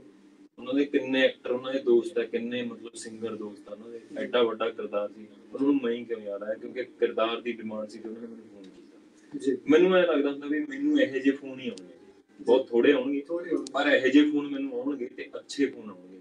ਤੇ ਮੈਨੂੰ ਉਹਨਾਂ ਦੀ ਹੀ ਵੇਟ ਹੁੰਦੀ ਹੈ ਮੈਨੂੰ ਬਾਕੀ ਜਿਹੜਾ ਚਾਲੂ ਕੰਮ ਆ, ਉਹਦੀ ਕੋਈ ਮੈਨੂੰ ਉਹਦੇ ਨਾਲ ਕੋਈ ਹੈ ਜੀ ਨਹੀਂ ਮੈਂ ਨਾਲ ਨਾਲ ਦੱਸਦਾ ਕਿ ਰਾਜ ਬਾਈ ਹੋਰੀ ਸਕ੍ਰਿਪਟ ਲਿਖਣ ਦਾ ਕੰਮ ਵੀ ਕਰਦੇ ਨੇ ਕਲਾਕਾਰ ਵੀ ਨੇ। ਅਹ, ਕਲਾ ਦੇ ਨਾਲ ਜੁੜੇ ਹੋਏ ਨੇ। ਅਹ, ਕਲਾ ਦਾ ਕੋਈ ਇੱਕ ਰੂਪ ਨਹੀਂ ਹੁੰਦਾ, ਕਲਾ ਦੇ ਬਹੁਤ ਸਾਰੇ ਰੂਪ ਹੁੰਦੇ ਨੇ। ਅਹ, ਪਰ ਜੇਕਰ ਟੋਟਲੀ ਮੈਂ ਗੱਲ ਕਹਾਂ ਇਹਨਾਂ ਬਾਰੇ, ਤਾਂ ਇੱਕ ਸੰਵੇਦਨਸ਼ੀਲ ਪਰਸਨ ਨੇ, ਸੰਵੇਦਨਸ਼ੀਲ ਇਨਸਾਨ ਨੇ, ਸਹਿਜ ਨੇ। ਸੋ ਇੱਕ ਸੰਵੇਦਨਸ਼ੀਲ, ਇੱਕ ਬੌਧਿਕ ਬੰਦੇ ਦਾ ਇੰਡਸਟਰੀ 'ਚ ਵਿਚਰਨਾ ਜਿਹੜਾ ਉਹ ਕਿੰਨਾ ਕੁ ਔਖਾ ਹੈ? ਜਿਵੇਂ ਹੁਣ ਆਪਾਂ ਇੰਡਸਟਰੀ 'ਚ ਹੋ ਰਹੀ ਜਿਹੜੀ ਲੋਕ ਝੋਗਾ ਦੇ ਬਾਰੇ ਵੀ ਆਪਾਂ ਗੱਲ ਕਰ ਰਹੇ ਹਾਂ। ਪਰ ਇੱਕ ਇੱਕ ਤਾਂ ਹੁੰਦਾ ਬੰਦਾ ਵੀ ਬਸ਼ਰਮ ਜਿਹਾ ਹੋਇਆ ਬੰਦਾ ਫਿਰਦਾ ਰਹਿੰਦਾ ਬਹੁਤੀ ਦਿਲ ਤੇ ਵੀ ਨਹੀਂ ਲਾਉਂਦਾ। ਪਰ ਪੰਜਾਬੀ ਸਿਨੇਮੇ ਨੂੰ ਲੈ ਕੇ ਇੱਕ ਬੌਧਿਕ ਜਿਹੜਾ ਬੰਦਾ ਉਹਦਾ ਵਿਚਰਨਾ ਖਿੰਝਦਾ ਪੰਜਾਬੀ ਸਿਨੇਮੇ ਦੇ ਵਿੱਚ। ਕਿਉਂਕਿ ਤੁਸੀਂ ਆਪਣੇ ਆਪ ਤੋਂ ਹੀ ਗੱਲ ਪਹਿਲੀ ਸ਼ੁਰੂ ਕਰੋਗੇ ਕਿ ਤੁਸੀਂ ਆਪ ਖੁਦ ਲਿਖਦੇ ਹੋ। ਫਿਰ 13 ਸਾਲ ਹੋ ਗਏ ਨੇ ਇਸੇ ਕਰਕੇ ਮੈਨੂੰ 13 ਸਾਲ ਲੱਗ ਗਏ ਇੰਨਾ। ਕੰਮ ਕਰਨ ਇੰਨਾ ਕੰਮ ਕਰਨਾ ਸੋ ਇਹ ਤੇ ਹੈ ਵੀ ਚੰਗਾ ਕੰਮ ਕਰਨ ਵਾਲੇ ਭਾਵੇਂ ਥੋੜਾ ਕਰਨ। ਪਰ ਉਹਨਾਂ ਨੂੰ ਜਿਹੜਾ ਉਹਨਾਂ ਦੇ ਹਿੱਸੇ ਦਾ ਜਿਹੜਾ ਕੰਮ ਆ, ਉਹ ਮਿਲਦਾ ਰਹੂਗਾ ਰਹੂਗਾ। ਅੱਛਾ, ਤੁਸੀਂ ਲਾਲੇ ਦਾ ਰੋਲ ਕੀਤਾ ਸਿਕੰਦਰ ਦੇ ਵਿੱਚ। ਜਿਹੜਾ ਸਭ ਤੋਂ ਵਧੀਆ ਸੀ ਉਹਦਾ ਸੀਨ ਕੱਢ ਕੇ ਖਵਾਉਣਾ, ਉਹਦਾ ਭੈਣ ਗਾਲ ਕੱਢਣਾ ਭੈਣ ਦੀ ਗਾਲ ਕੱਢਦਾ ਹੁੰਦਾ ਜਦੋਂ ਸਿਕੰਦਰ ਮਰ ਜਾਂਦਾ, ਤੂੰ ਨਹੀਂ ਇਹਦਾ ਮਰ ਸਕਦਾ ਸੀਗਾ। ਸੋ ਲਾਲੇ ਦੇ ਲਈ ਕਿੰਨੀ ਕੁ ਮਿਹਨਤ ਕਰਨੀ ਪਈ? ਲਾਲਾ ਜਿਹੜਾ ਕਰੈਕਟਰ ਸੀ ਕਿੱਦਾਂ ਚੁਣਿਆ? ਲਾਲਾ ਜਦੋਂ ਬਾਈ ਨੇ ਮੈਨੂੰ ਇਹ ਰੋਲ ਦਿੱਤਾ ਸੀਗਾ, ਜਤਿੰਦਰ ਮੋਹਨ ਬਾਈ ਨੇ, ਤਾਂ ਮੈਂ ਉਸ ਮੈਂ ਬਹੁਤ ਜਵਾਬ ਜੇ ਮੈਂ ਦਾੜੀ ਸ਼ੇਵ ਕਰਦਾ ਬਹੁਤ ਜਵਾਬ ਜਿਹਾ ਦਿਖਣ ਲੱਗ ਗਿਆ ਜੀ ਤੇ ਉਦੋਂ ਦਾ ਬਹੁਤ ਹੀ ਜ਼ਿਆਦਾ ਜਵਾਬ ਸੀ ਜੀ। ਕਰਤਾਰ ਵਰਗੇ ਯਾਦ ਗਰੇਵਾਲ ਵਿਕਟਰ ਸਾਰੇ ਵੱਡੇ ਵੱਡੇ ਸੀਗੇ। ਜੀ। ਮਤਲਬ ਉਹ ਵੱਡੇ ਲੱਗ ਹਾਂ ਯਾਦ ਕਾਫੀ ਮਚਾ ਲੱਗਦਾ ਤੇ ਉਹਨਾਂ ਦੀ ਬੋਲਣੀ ਵੀ ਬੜੀ ਖੁੱਲੀ ਜੀ। ਕਰਤਾਰ ਦੀ ਜੀ। ਵੀ ਜ਼ੋਰ ਲੱਗਦਾ ਮੇਰੇ ਤੋਂ ਜੀ। ਤਾਂ ਜਤਿੰਦਰ ਬਾਈ ਨੇ ਕਿਹਾ ਵੀ ਤੂੰ ਛੋਟਾ ਲੱਗਦਾ ਨਾ ਸਾਰਾ ਤੇਰਾ ਰੋਲ ਬਹੁਤ ਵੱਡਾ ਹੈਗਾ ਇਹ। ਜੀ। ਲਾਲਾ ਜਿਹੜਾ ਕਿਰਦਾਰ ਬਹੁਤ ਵੱਡਾ ਹੈ ਪਰ ਤੂੰ ਛੋਟਾ ਲੱਗਦਾ।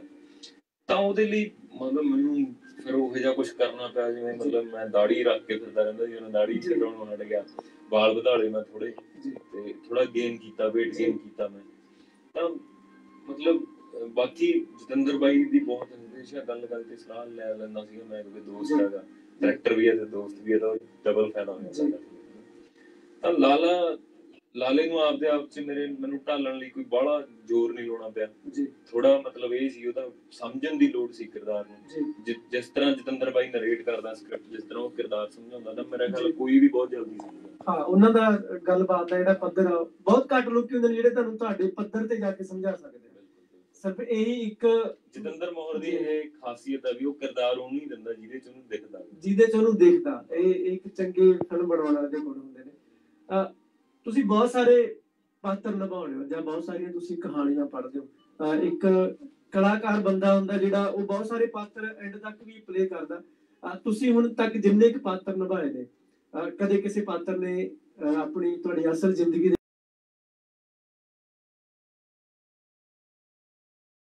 ਪ੍ਰੋਡਕਸ਼ਨ ਨਹੀਂ ਹੈਗੀ, ਧਰਤੀ ਵੀ ਇੱਕ ਪਰਦਾ ਜਿਹੜੀ ਫਿਲਮ ਚੱਲੀ ਜਾਂਦੀ ਹੈ। ਇਸ ਫਿਲਮ ਦੀ ਅਸਲ ਜ਼ਿੰਦਗੀ ਦੇ ਵਿੱਚ ਕਦੇ ਸਕਰੀਨ ਵਾਲੇ ਪਾਤਰ ਨੇ ਕਦੇ ਤੰਗੀ ਕੀਤੀ ਤੁਹਾਨੂੰ? ਕਦੇ ਤੁਹਾਡੇ ਤੋਂ ਕੋਈ ਹਾਵੀ ਹੋਇਆ ਜਿਹਨੂੰ ਤੁਸੀਂ ਜੀਣਾ ਚਾਹਿਆ ਹੋਵੇ? ਜਿਵੇਂ ਬਹੁਤ ਸਾਰੇ ਲੋਕੀ ਨੇ ਨੋਵਲ ਪੜ੍ਹਨ ਤੋਂ ਬਾਅਦ ਉਹਨਾਂ ਦੇ ਜਿਹੜੇ ਪਾਤਰ ਨੇ ਜੀਣ ਲੱਗ ਆਪੀ ਨੋਵਲ ਪੜ੍ਹ ਕੇ ਉਹਦੇ ਵਾਂਗੂ ਜੀਣ ਲੱਗ ਜਾਂਦੇ ਨੇ। ਦੇਵਦਾਸ ਫਿਲਮ ਦੇਖ ਕੇ ਉਵੇਂ ਦਾ ਜੀਣ ਲੱਗ ਜਾਂਦੇ ਨੇ। ਪਰ ਇੱਕ ਕਲਾਕਾਰ ਹੁੰਦੇ ਹੋਏ ਆਪਣੇ ਆਪ ਤੇ ਜਿਵੇਂ ਤੁਸੀਂ ਲਾਲਾ ਕਰੈਕਟਰ ਹੰਡਾਇਆ ਤੁਹਾਨੂੰ ਕਿੰਨਾ ਸਮਾਂ ਲੱਗਦਾ ਦੂਜੀ ਫਿਲਮ ਦੇ ਲਈ ਕਿਸੇ ਪਿਛਲੇ ਕਰੈਕਟਰ ਚੋਂ ਬਾਹਰ ਆਉਣ ਦੇ ਲਈ? ਤੁਸੀਂ ਬਹੁਤ ਵਧੀਆ ਸਵਾਲ ਪੁੱਛਿਆ। ਮੈਂ ਪਹਿਲੇ ਹੀ ਕਿਸੇ ਨੇ ਮੈਨੂੰ ਇਹ ਸਵਾਲ ਪੁੱਛਿਆ। ਥੈਂਕ ਯੂ ਮੈਂ ਲਾਲੇ ਨੇ ਮੈਨੂੰ ਮਤਲਬ ਇਹ ਤਾਂ ਨਹੀਂ ਵੀ ਮੈਂ ਉਹਦੇ ਨੂੰ ਜਿਉਣਾ ਚਾਹੁੰਦਾ ਸੀ ਜਾਂ ਜਿਉਣ ਲੱਗ ਗਿਆ ਜੀ ਪਰ ਲਾਲੇ ਨੇ ਤੰਗ ਬਹੁਤ ਕੀਤਾ ਮੈਨੂੰ 2 ਸਾਲ। ਉਹ। ਮੈਂ ਕੱਢ ਹੀ ਨਹੀਂ ਪਾਇਆ ਆਪਦੇ ਆਪ ਚ। ਨਾ ਉਹਦਾ ਸਟਾਈਲ ਕੱਢ ਪਾਇਆ। ਜੀ। ਤੇ ਨਾ ਹੀ ਮੈਂ ਮਤਲਬ ਉਹਨੂੰ ਛੱਡ ਪਾਇਆ। ਛੱਡ ਬਹੁਤ ਤੰਗ ਕੀਤਾ ਉਹਨੇ ਮੈਨੂੰ। ਮੈਂ ਬੜੀ ਔਖੀ ਉਹ ਤੋਂ ਨਿਜਾਤ ਲਈ ਸੀ ਉਹ ਕੈਰੈਕਟਰ ਤੋਂ। ਉਹ ਇੰਨਾ ਹਾਵੀ ਹੋ ਗਿਆ ਸੀ ਮੇਰੇ ਤੇ। ਮੈਂ ਉਵੇਂ ਬਿਹੇਵ ਕਰਨ ਲੱਗ ਗਿਆ ਸੀਗਾ। ਉਵੇਂ ਦੇਖਦਾ ਸੀ ਉਵੇਂ ਬੋਲਦਾ ਸੀ। ਜੀ। ਕਈ ਵਾਰੀ ਮਾਰਕੀਟ ਚ ਕੀ ਹੁੰਦਾ ਸੀ ਮੁੰਡੇ ਪਛਾਣਦੇ ਆ ਹੁਣ ਮਤਲਬ ਬੁਲਾ ਲੈਂਦੇ ਵੀ ਤਾਂ ਉਹ ਸੰਗਦੇ ਹੁੰਦੇ ਮੁੰਡੇ ਪੰਜਾਬ ਬਿਲਕੁਲ। ਉਹ ਛੇਤੀ ਬੁਲਾਉਂਦੇ ਨੂੰ। ਐ ਲੱਗਦਾ ਯਾਰ ਇਹ ਐਕਟਰ ਆ ਪਤਾ ਨਹੀਂ ਕਿੰਨੀ ਲੱਕੜ। ਉਤੋਂ ਮੈਂ ਚੁੱਪ ਬਹੁਤ ਰਹਿਣ ਲੱਗ ਗਿਆ ਸੀਗਾ। ਜੀ। ਤਾਂ ਮਤਲਬ ਮੈਂ ਉਹਨਾਂ ਕੰਨੀ ਐ ਦੇਖਦਾ ਸੀ ਤਾਂ ਮੈਨੂੰ ਐ ਲੱਗਦਾ ਸੀ ਪਤਾ ਨਹੀਂ ਕਿਉਂ ਘੂਰ ਰਹੇ ਆ। ਜੀ। ਮੈਂ ਇੱਕ ਦਿਨ ਪੁੱਛ ਲਿਆ ਜਾ ਕੇ ਮੈਂ ਕਿਹਾ ਯਾਰ ਕੀ ਮਤਲਬ ਤੁਸੀਂ ਐ ਕਿਉਂ ਘੂਰ ਰਹੇ ਹੋ? ਬੋਲਿਆ ਥੋੜਾ ਔਖਾ ਹੀ ਸੀ ਮੈਂ ਹੁਣ। ਜੀ।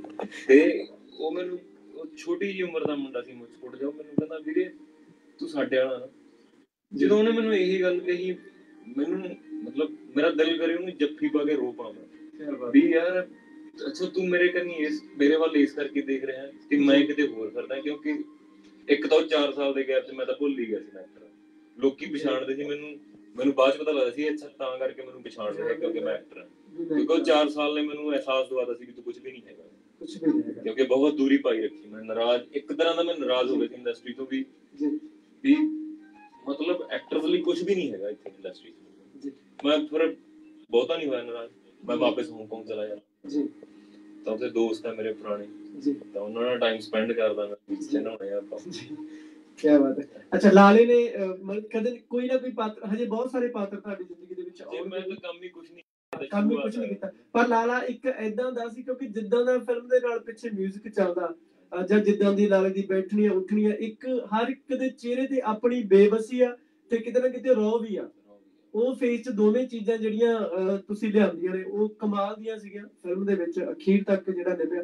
ਅੱਛਾ, ਮੈਨੂੰ ਕਿਤਨਾ ਕਿਤੇ ਜਿਹੜਾ ਲਾਲਾ ਕਰੈਕਟਰ ਆ, ਉਹ ਬੇਅੰਤ ਤੇ ਸਿਕੰਦਰ ਦੇ ਵਿਚਾਲੇ ਮੈਨੂੰ ਬੇਬਸ ਵੀ ਖੜਾ ਨਜ਼ਰ ਆਉਂਦਾ, ਕਿਉਂਕਿ ਉਹਨੂੰ ਉਹ ਫੋਰਸ ਵੀ ਕਰਦਾ ਇਨਸਿਸਟ ਵੀ ਕਰਦਾ, ਉਹਨੂੰ ਦਬਾਅ ਵੀ ਪਾਉਂਦਾ ਕਿ ਨਾ ਬਾਈ ਯਾਰ, ਸਾਡੇ ਨਾਲ ਵੀ ਛੱਡ ਦੇ, ਖੜਾ ਹਣ, ਮਰ ਜਾਏਗਾ, ਵੀ ਤੂੰ ਕਿਉਂ ਇੱਧਰ ਉਹ ਕਹਿੰਦਾ ਵੀ ਨਹੀਂ, ਇਸ ਜਨਮ ਤਾਂ ਅਗਲੇ ਸੀ ਸ਼ਾਇਦ। ਸੋ ਤੁਹਾਨੂੰ ਵਿੱਚ ਉਹਦੀ ਜਿਹੜੀ ਸਾਈਕੀ ਸੀ, ਮਾਨਸਿਕਤਾ ਕਿੱਦਾਂ ਦੀ ਲੱਗੀ ਲਾਲੇ ਦੀ, ਪੂਰੇ ਕਰੈਕਟਰ ਦੀ ਕਿ ਦੋ, ਇੱਕ ਔਰਤ, ਇੱਕ ਮਹਿਬੂਬ ਤੇ ਇੱਕ ਉਹਦਾ ਜਿਹੜਾ ਦੂਜਾ ਮਹਿਬੂਬ ਮੇਲ ਮਹਿਬੂਬ, ਉਹਨਾਂ ਦੇ ਵਿਚਕਾਰ ਕਿਤੇ ਨਾ ਕਿਤੇ ਉਹ ਸਿਸਟਮ ਦੇ ਵਿੱਚ ਵੀ ਪਿਸਿਆ ਰਿਹਾ ਤੇ ਉਹ ਇੱਕ ਰਿਲੇਸ਼ਨ ਦੇ ਵਿੱਚ ਵੀ ਪਿਸਿਆ ਜਾ ਰਿਹਾ। ਕਿਉਂਕਿ ਉਹ ਸਿਕੰਦਰ ਦੇ ਵੀ ਉਹਨਾਂ ਨੇੜੇ ਆ ਬੇਅੰਤ ਤੋਂ ਜ਼ਿਆਦਾ ਨੇੜੇ ਰਹਿੰਦਾ, ਬਾਕੀ ਫਿਲਮ ਦੇ ਵਿੱਚ ਤੁਸੀਂ ਦੇਖੋ ਲਾਲਾ ਕਿੱਡਾ ਮੈਚੁਰ ਕੈਰੈਕਟਰ ਹੈ ਉਹ ਥਿੰਕ ਟੈਂਕ ਹੈ ਬੇਸਿਕਲੀ ਗੈਂਗ ਜੀ। ਜਦੋਂ ਫਤਿਹ ਮਰ ਜਾਂਦਾ ਤਾਂ ਗੈਂਗ ਉਹਦੇ ਹੱਥ 'ਚ ਆ। ਗੈਂਗਰੂ ਦੇ ਹੱਥ 'ਚ ਜੀ।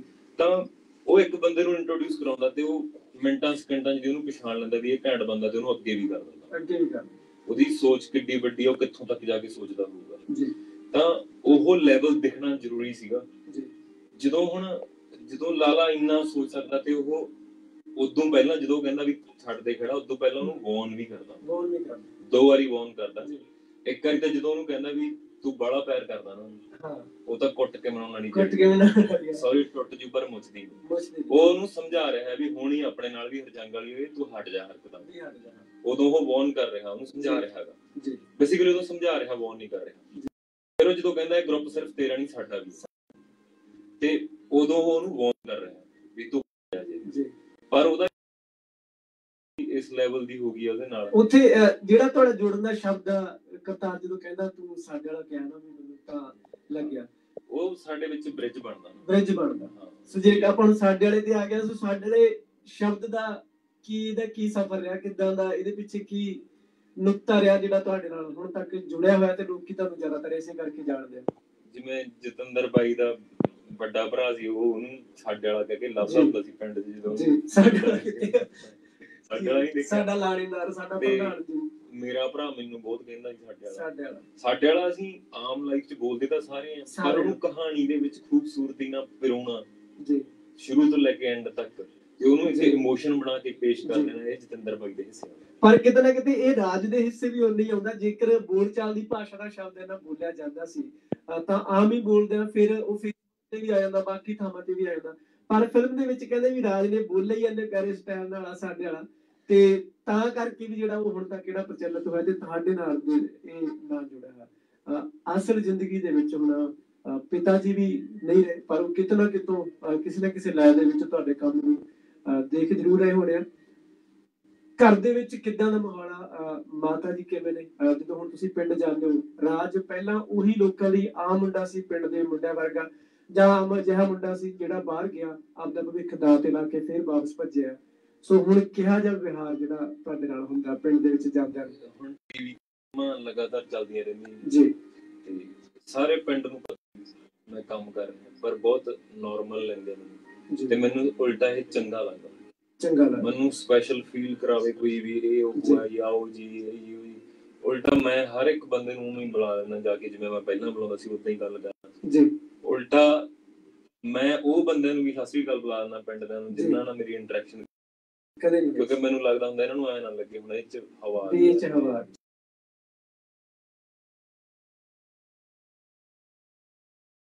ਮਿੱਟੀ ਪਾਣੀ ਦਾ ਬਣਿਆ ਹੋਇਆ। ਤੇ ਉਹ ਰਾਜ ਮੈਂ ਜਮੀ ਉਦਾਂ ਦਾ ਜਿਹੜਾ ਗੁੱਲੀ ਡੰਡਾ ਖੇਡਦਾ ਹੁੰਦਾ ਸੀ ਪਿੰਡ ਹੁਣ ਵੀ ਜਾ ਕੇ ਮੈਂ ਉੱਥੇ ਵਾਲੀਬਾਲ ਖੇਡਣ ਲੱਗ ਜਾਂਦਾ ਉਹਨਾਂ ਨਾਲ। ਗੁੱਲੀ ਡੰਡਾ ਵੀ ਖੇਡਣ ਲੱਗ ਜਾਂਦਾ ਤੇ ਉਦਾਂ ਦਾ ਹੀ ਮੈਂ ਪਿੰਡ ਜਿੱਦਾਂ ਦਾ ਸੀਗਾ ਆਉਣ ਵਾਲੇ ਸਮੇਂ 'ਚ ਰਾਜ ਕਿਹੋ ਜਿਹੇ ਪਾਤਰ ਨਿਭਾਉਣਾ ਚਾਹੁੰਦਾ, ਕਿਹੋ ਜਿਹੇ ਕਰੈਕਟਰ ਰਾਜ ਕਰਨਾ ਚਾਹੁੰਦਾ? ਜਿਹਨੂੰ ਜਿੰਨਾ ਇੱਕ ਤਾਂ ਹੁੰਦਾ ਡਾਇਰੈਕਟਰ ਦੀ ਮੰਗ ਕਿ ਮੈਂ ਤੋਂ ਆਹ ਬੈਸਟ ਲੈਣਾ ਇੱਕ ਹੁੰਦਾ ਹਰ ਇੱਕ ਕਲਾਕਾਰ ਦੀ ਸ਼ਾਇਦ ਡਾਇਰੈਕਟਰ ਨਾਲੋਂ ਤੁਹਾਨੂੰ ਵੀ ਕਈ ਵਾਰੀ ਇੱਕ ਮੌਕੇ ਜ਼ਿਆਦਾ ਪਤਾ ਹੋਵੇ ਵੀ ਰਾਜ ਆਹ ਜ਼ਿਆਦਾ ਬੈਸਟ ਕਰ ਇੱਕ ਚੀਜ਼ ਲਈ ਤੁਹਾਡਾ ਹਮੇਸ਼ਾ ਅੰਦਰ ਧੁਖਦਾ ਹੁੰਦਾ ਜਾਂ ਕਦੋਂ ਮਰਦਾ ਹੁੰਦਾ ਵੀ ਮੈਂ ਆਹ ਚੀਜ਼ ਕਰਨੀ ਕਰਨੀ ਹੈ। ਸੋ ਕਿਹੜਾ ਕਰੈਕਟਰ ਆ, ਇਹ ਜੀ ਕਿਹੜੀ ਤੁਸੀਂ ਸਕ੍ਰਿਪਟ ਵੀ ਖੁਦ ਲਿਖਦੇ ਹੋ ਕੀ ਕੁਝ ਨਵਾਂ ਹੋ ਸਕਦਾ ਜਾਂ ਕੀ ਤੁਸੀਂ ਨਵਾਂ ਚਾਹੁੰਦੇ ਹੋ ਕਿ ਮੈਂ ਇਦਾਂ ਦਾ ਰੋਲ ਕਰਨਾ ਚਾਹਾਂ ਆਉਣ ਵਾਲੇ ਸਮੇਂ ਦੇ ਵਿੱਚ? ਟਾਈਟੈਨਿਕ ਬਾਰੇ ਵੀ ਗੱਲ ਕਰਾਂਗੇ ਉਹ ਵੀ ਸਰਪ੍ਰਾਈਜ਼ ਆ ਪਰ ਇਹ ਉਸ ਤੋਂ ਹਟਵਾਂ ਸਵਾਲ। ਮੈਨੂੰ ਐ ਲੱਗਦਾ ਵੀ ਜਿਵੇਂ ਜਿਵੇਂ ਇੰਡਸਟਰੀ ਗਰੋ ਕਰ ਰਹੀ ਆ ਨਵੇਂ ਮੁੰਡੇ ਜਿਹੜੇ ਲਿਖਣ ਵਾਲੇ ਆ ਜਿਵੇਂ। ਜਗਦੀਪ ਬਾਈ ਆ ਜਸਕਰਿਆਲ ਬਾਈ ਜਤਿੰਦਰ ਬਾਈ ਤਾਂ ਹੈਗੇ। ਦੇ। ਇਹ ਬਹੁਤ ਅੱਛੀਆਂ ਸਕ੍ਰਿਪਟਾਂ ਲਿਖ ਰਹੇ ਜੀ। ਬਹੁਤ ਅੱਛੇ ਕਿਰਦਾਰ ਵੀ ਲਿਖ ਰਹੇ ਜੀ। ਜਿਵੇਂ ਜਤਿੰਦਰ ਬਾਈ ਦੀਆਂ ਮੈਂ ਕਈ ਸਕ੍ਰਿਪਟਾਂ ਸੁਣੀਆਂ ਜੀ। ਆਉਣ ਵਾਲੇ ਟਾਈਮ 'ਚ ਮੈਂ ਤਾਂ ਬੁੱਕ ਪਾਈ ਹੋਈ ਆ ਬਾਈ ਨੂੰ ਯਾਰ ਉਹ ਮੈਂ ਕਰੂੰਗਾ। ਜੀ। ਤੇ ਜਿਵੇਂ ਮੈਂ ਹੁਣੀ ਫਿਲਮ ਕੀਤੀ ਟਾਈਟੈਨਿਕ ਉਹਦੇ 'ਚ ਵੀ ਮੇਰਾ ਕਿਰਦਾਰ ਤੁਸੀਂ ਦੇਖਿਓ ਬਹੁਤ ਜੀ। ਕਮਾਲ ਲਿਖਿਆ ਹੋਇਆ ਹੈਗਾ। ਅਸੀਂ ਤਾਂ ਇਹਨਾਂ ਦੇਖਿਆ ਵੀ ਬਾਈ ਰੱਸੇ ਫੜੀ ਕਿਹੜਾ ਟਰੈਕਟਰ ਦੇ ਨਾਲ ਸੋ ਜਿਵੇਂ ਹੀ ਪਿੰਡ ਦਾ ਇੱਕ ਆਮ ਮੁੰਡਾ ਬਣ ਕੇ ਆਉਂਗਾ ਜਿਹਦੇ ਨਾਲ ਹਰ ਮੁੰਡਾ ਮੈਂ ਹੀਰੋ ਨਹੀਂ ਲੱਗੂਗਾ ਬਿਲਕੁਲ। ਇਹ ਲੱਗੂਗਾ ਹਰ ਮੁੰਡੇ ਨੂੰ ਦੇਖਣ ਵਾਲੇ ਨੂੰ ਵੀ ਯਾਰ ਇਹ ਤਾਂ ਮੈਂ ਹੀ ਹਾਂ ਜੀ। ਮਨ ਉਹਨਾਂ ਨਾਲ ਰਿਲੇਟ ਕਰਨਗੇ ਉਹ ਮੇਰੇ। ਕਿਰਦਾਰ ਨਾਲ। ਤੇ ਮੈਂ ਬਿਲਕੁਲ ਐਕਸਟਰਾ ਵਨ ਮੈਨ ਆਰਮੀ ਜਾਂ ਹੀਰੋਇਜ਼ਮ ਨਾਲ ਨਹੀਂ ਆ ਰਿਹਾ ਤਾਂ ਮੈਨੂੰ ਇਦਾਂ ਦੇ ਜਿਹੜੇ ਆਮ ਲੋਕਾਂ ਦੇ ਨੇੜੇ ਹੋਣ ਕਿਰਦਾਰ ਉਦਾਂ ਦੇ ਕਿਰਦਾਰ ਨਿਭਾਉਣੇ ਬਹੁਤ ਪਸੰਦ ਆ। ਮੈਨੂੰ ਐ ਲੱਗਦਾ ਵੀ ਇਹੋ ਜਿਹੇ ਕਿਰਦਾਰ ਹੁੰਦੇ ਉਹ ਲੋਕਾਂ ਦੇ ਮਨਾਂ 'ਚ ਵੱਸ ਜਾਂਦੇ ਕਿਉਂਕਿ ਉਹ ਰਿਲੇਟ ਕਰ ਪਾਉਂਦੇ ਹੁਣ ਤੁਸੀਂ ਸੁਪਰਮੈਨ ਨਾਲ ਕਦੇ ਰਿਲੇਟ ਕਰ ਸਕਦੇ ਹੋ ਵੀ ਮੈਂ ਸੁਪਰਮੈਨ ਬਣ ਜੂਗਾ ਨਹੀਂ ਨਹੀਂ ਪਰ ਇਹ ਇੱਕ ਵੱਡੀ ਗੱਲ ਆ ਤੁਹਾਡੇ ਦਾ ਟਾਈਟੈਨਿਕ ਦਾ ਜਿਹੜਾ ਇੱਕ ਟਾਈਟਲ ਜਿਹੜਾ ਆਇਆ ਸੋ ਟਾਈਟੈਨਿਕ ਬਾਰੇ ਥੋੜਾ ਜਿਹਾ ਤੁਸੀਂ ਦੱਸ ਸਕਦੇ ਹੋ ਜੇ ਕਿ ਦੱਸਣਾ ਚਾਹੋ ਤਾਂ। ਹਾਂਜੀ। ਮੇਰੀ ਜਿਹੜੀ ਟਾਈਟੈਨਿਕ ਫਿਲਮ ਉਹ ਕੰਪਲੀਟ ਹੋ ਗਿਆ। ਜੀ। ਤੇ ਹੁਣ ਡਬਿੰਗ ਚੱਲ ਰਹੀ ਹੈ ਮੈਂ ਜੀ। ਡਬਿੰਗ ਕਰ ਰਿਹਾ ਤੇ ਰਵੀ ਪੁੰਜਬਾਈ ਨੇ ਡਾਇਰੈਕਟ ਕੀਤੀ ਆ ਉਹ film ਤੇ ਲਿਖੀ ਰਵੀ ਪੁੰਜਬਾਈ ਦੀ ਸਟੋਰੀ ਸੀ ਤੇ ਸਕਰੀਨ ਪਰ ਡਾਇਲੌਗ ਮੈਂ ਤੇ ਰਵੀ ਪੁੰਜਬਾਈ ਨੇ ਲਿਖਿਆ ਜੀ। ਤੇ ਫਿਲਮ ਮੈਂ ਦੇਖੀ ਹੁਣ ਡਬਿੰਗ ਕਰਦੇ ਆ ਤਾਂ ਫਿਲਮ ਰਾਜ ਕਿੱਦਾਂ ਸਮਾਂ ਨਿਕਲਦਾ? ਰਾਜ ਇੱਕ ਐਕਟਰ ਵੀ ਆ ਉਹਨੇ ਐਕਟਿੰਗ ਦੇ ਐਕਟ ਦੇ ਵਿੱਚ ਵੀ ਰਹਿਣਾ ਹੁੰਦਾ। ਉਹਨੇ ਸਕ੍ਰਿਪਟ ਵੀ ਲਿਖਣਾ ਤੇ ਜਿਵੇਂ ਰਵੀ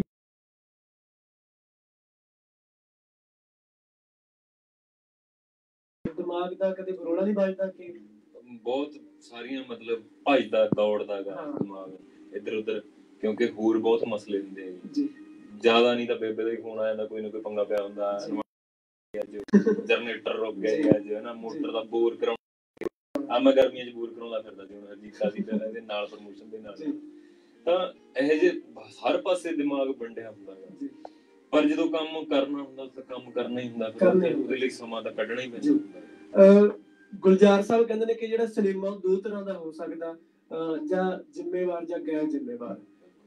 ਪਰ ਕਿਤੇ ਨਾ ਕਿਤੇ ਕਲਾ ਜਿਹੜੀ ਕਲਾ ਕਲੀ ਮਨੋਰੰਜਨ ਵੀ ਨਹੀਂ ਹੁੰਦੀ। ਅਸੀਂ ਬਾਹਰ ਨੇ ਜੇਕਰ ਹਿਸਟਰੀਆਂ ਚੱਕ ਕੇ ਦੇਖ ਲਈਏ ਲੇਖਕ ਵੀ ਯੁੱਧ ਦੇ ਵਿੱਚ ਸ਼ਾਮਲ ਹੋ ਕੇ ਕਵਿਤਾ ਲਿਖਦੇ ਰਹੇ ਨੇ ਜਾਂ ਲੜਦੇ ਰਹੇ ਨੇ। ਬਾਹਰ ਕਿਸੇ ਵੀ ਕਲਾ ਨੂੰ ਲੈ ਕੇ ਜੇਕਰ ਆਪਾਂ ਐਦਾਂ ਦਾ ਸਵਾਲ ਨਹੀਂ ਠਾ ਸਕਦੇ ਕਿ ਉਹਨਾਂ ਨੇ ਕੋਈ ਯੋਗਦਾਨ ਨਹੀਂ ਪਾਇਆ ਸਮਾਜਿਕ ਕੰਮਾਂ ਦੇ ਵਿੱਚ, ਪਰ ਸਾਡਾ ਜਿਹੜਾ ਸਿਨੇਮਾ ਉਹਨੇ ਬਾਲੀਵੁੱਡ ਨੂੰ ਵੀ ਵਿੱਚ ਲਪੇਟੂਗਾ, ਬਾਲੀਵੁੱਡ ਨੂੰ ਵੀ ਲਪੇਟਾਂਗੇ ਸੀ ਵੀ ਕਿਤੇ ਨਾ ਕਿਤੇ ਥੋੜਾ ਜਿਹਾ ਗੈਰ ਜ਼ਿੰਮੇਵਾਰ ਹੁੰਦਾ ਜਾਂਦਾ। ਸਾਡੇ ਯੂਨੀਵਰਸਿਟੀ ਨੇ ਸਟੂਡੈਂਟ ਹੀ ਫਿਲਮਾਂ ਦੀਆਂ ਟਿਕਟਾਂ ਖਰੀਦਦੇ ਨੇ, ਪ੍ਰਮੋਸ਼ਨਾਂ ਦੇ ਲਈ ਵੀ ਸਾਨੂੰ ਯੂਨੀਵਰਸਿਟੀ ਚਾਹੀਦੇ ਨੇ, ਪਰ ਕਿਤੇ ਨਾ ਕਿਤੇ ਜਦੋਂ ਆਮ ਬੰਦੇ ਦੇ ਹਰੇਕ ਨਾਲ ਧੱਕਾ ਹੋਣ ਦੀ ਗੱਲ ਆਉਂਦੀ ਆ, ਤਾਂ ਸਾਡਾ ਸਿਨੇਮਾ ਉੱਥੇ ਚੁੱਪ ਆ। ਬਹੁਤ ਸਾਰੀਆਂ ਫਿਲਮਾਂ ਬਣ ਵੀ ਨਹੀਂ ਰਹੀਆਂ ਉਸ ਚੀਜ਼ ਉੱਪਰ। ਜਿਹੜੀਆਂ ਬਣਨੀ ਨੇ ਉਹਨਾਂ ਤੋਂ ਕੋਈ ਪੈਸਾ ਲਾਉਣ ਨੂੰ ਤਿਆਰ ਨਹੀਂ ਜਿਹੜੀਆਂ ਬਣਨੀਆਂ ਚਾਹੁੰਦੀਆਂ ਵੀ ਨੇ ਸਿਸਟਮ ਦੇ ਖਿਲਾਫ ਵੀ ਨੇ ਭਾਵੇਂ ਉਹਨਾਂ ਤੇ ਵੀ ਪੈਸਾ ਲਾਉਣ ਨੂੰ ਤਿਆਰ ਨਹੀਂ ਸੋ ਇਹ ਕੀ ਚੱਕਰ ਆ? ਕੋਈ ਵੱਡੇ ਲੈਵਲ ਤੇ ਸਮਝੌਤਾ ਹੋਇਆ ਕਿ ਇੱਕ ਜਮਾਤ ਜਿਹੜੀ ਕਲਾਕਾਰਾਂ ਦੀ ਭਾਵੇਂ ਕ੍ਰਿਕਟਰਾਂ ਦੀ ਭਾਵੇਂ ਬਾਲੀਵੁੱਡ ਦੀ ਕਿ ਤੁਸੀਂ ਚੁੱਪ ਰਹੋ ਆਮ ਜਨਤਾ ਨਾਲ ਕੁਝ ਵੀ ਹੁੰਦਾ ਰਹੇ? ਹਾਲਾਂਕਿ ਕਲਾਕਾਰ ਜਨਤਾ ਦੇ ਸਿਰ ਤੇ ਹੀ ਹੁੰਦਾ। ਜੀ। ਮੈਨੂੰ ਲੱਗਦਾ ਵੀ ਹੁਣ ਹੌਲੀ ਹੌਲੀ ਚੇਂਜ ਤਾਂ ਹੋ ਰਿਹਾ ਹੈ। ਜਿਵੇਂ ਜਤਿੰਦਰ ਬਾਈ ਆਪਦੀ ਲਾਈਨ 'ਚ ਫਿਲਮਾਂ ਬਣਾ ਰਿਹਾ ਬਿਲਕੁਲ ਉਹਨਾਂ ਨੇ। ਦੀਆਂ ਫਿਲਮਾਂ ਹੀ ਬਣਾਉਂਦਾ ਬਾਈ ਜਿੱਦਾਂ ਦੀਆਂ ਉਹਨੇ ਬਣਾਉਣੀਆਂ ਜੀ। ਤਾਂ ਇਹ ਗੱਲ ਤੁਹਾਡੀ ਬਿਲਕੁਲ ਸਹੀ ਹੈ ਕਿ ਗੈਰ ਜ਼ਿੰਮੇਦਾਰ ਸਿਨੇਮਾ ਜ਼ਿਆਦਾ ਬਣ ਜ਼ਿਆਦਾ ਰਿਹਾ ਵੱਧ ਰਿਹਾ ਜੀ। ਜ਼ਿੰਮੇਦਾਰ ਬਹੁਤ ਘੱਟ ਬਣ ਰਿਹਾ ਜੀ। ਪਰ ਹੌਲੀ ਹੌਲੀ ਜਿਵੇਂ ਆਪਾਂ ਨਾ ਬਹੁਤ ਪਿੱਛੇ ਜ਼ਿਆਦਾ ਵੀ ਆਪਾਂ ਕਹਿੰਦੇ ਵੀ ਮਾੜੇ ਗਾਣੇ ਆਉਂਦੇ ਜੀ। ਹਨਾ? ਚੰਗੇ ਵੀ ਆਉਂਦੇ ਆ। ਮਾੜੇ ਜ਼ਿਆਦਾ ਸੁਣੇ ਜਾਂਦੇ ਚੰਗੇ ਘੱਟ ਸੁਣੇ ਚੰਗੀ ਸੁਣੋ ਸਾਰਾ ਐਜੂਕੇਸ਼ਨ ਦਾ ਮਸਲਾ ਲੱਗਦਾ ਮੈਨੂੰ ਇਹ ਵੀ ਸਾਨੂੰ ਜੀ। ਜਿਹੋ ਜਿਹਾ ਸਾਨੂੰ ਗਰੋ ਕੀਤਾ ਸਕੂਲਾਂ ਨੇ। ਸਿਸਟਮ ਨੇ। ਸਿਸਟਮ ਉਹ ਜਿਹੀ ਸਾਡੀ ਸੋਚ ਹੈ। ਜੀ। ਤੇ ਮੈਨੂੰ ਲੱਗਦਾ ਵੀ ਕਿਤੇ ਨਾ ਕਿਤੇ ਚ ਐਜੂਕੇਸ਼ਨ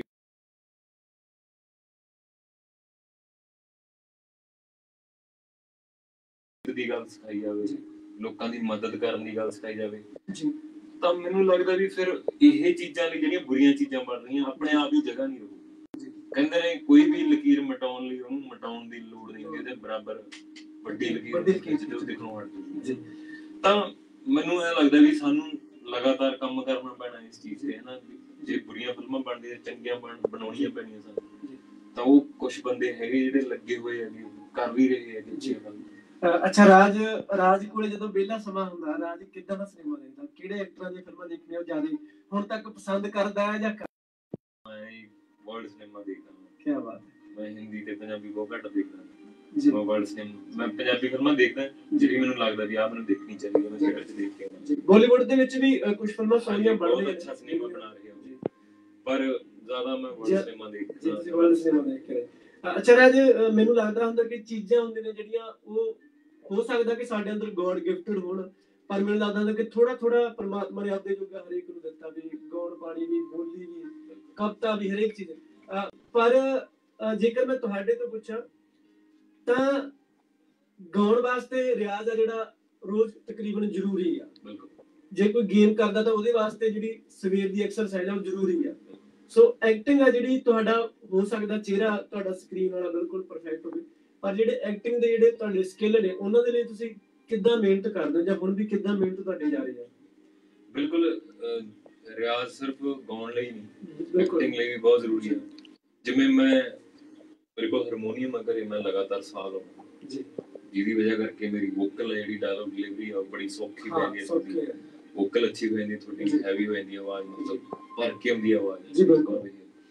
ਤੇ ਮੈਨੂੰ ਲੱਗਦਾ ਵੀ ਐਕਟਰ ਨੂੰ ਦਾ ਮਤਲਬ ਰੋਜ਼ ਮਤਲਬ ਉਹਦੀਆਂ ਬੇਸਿਕ ਜਿਹੜੀਆਂ ਹੈਗੀਆਂ ਐਕਸਰਸਾਈਜ਼ਸ ਆਪਣੇ ਫੇਸ ਦੀਆਂ ਵੀ ਫੇਸ ਦੀ ਐਕਸਪ੍ਰੈਸ਼ਨਸ ਲਈ ਵੌਇਸ ਲਈ ਬਹੁਤ ਮਿਹਨਤ ਕਰਨੀ ਪੈਂਦੀ ਹੈ ਐਕਟਰ ਨੂੰ। ਐਕਟਰ ਨੂੰ ਵੀ ਮਤਲਬ ਕੋਈ ਐ ਨਹੀਂ ਵੀ ਬਸ ਰੋਜ਼ ਸੁੱਤਾ ਤੁਹਾਡਾ ਸਿਰਫ ਚਿਹਰਾ ਹੀ ਵੇਖਦਾ ਸਕਰੀਨ ਤੇ ਸਿਰਫ ਇਹ ਸ਼ਾਰਟ ਸ਼ਾਰਟ ਦੇਣ ਚਲੇ ਗਏ। ਸੈੱਟ ਤੇ ਚਲੇ ਗਏ। ਤੇ ਮੈਂ ਮਤਲਬ ਲਗਾਤਾਰ ਆਪਣੇ ਆਪ ਨੂੰ ਐਕਸਪਲੋਰ ਕਰਨ ਦੀ ਕੋਸ਼ਿਸ਼ ਕਰਦਾ ਰਹਿਣਾ ਮੈਂ ਮੈਂ ਹੋਰ ਕਿਹੜੀ ਚੀਜ਼ 'ਚ ਬਿਹਤਰੀ ਲਿਆ ਸਕਦਾ?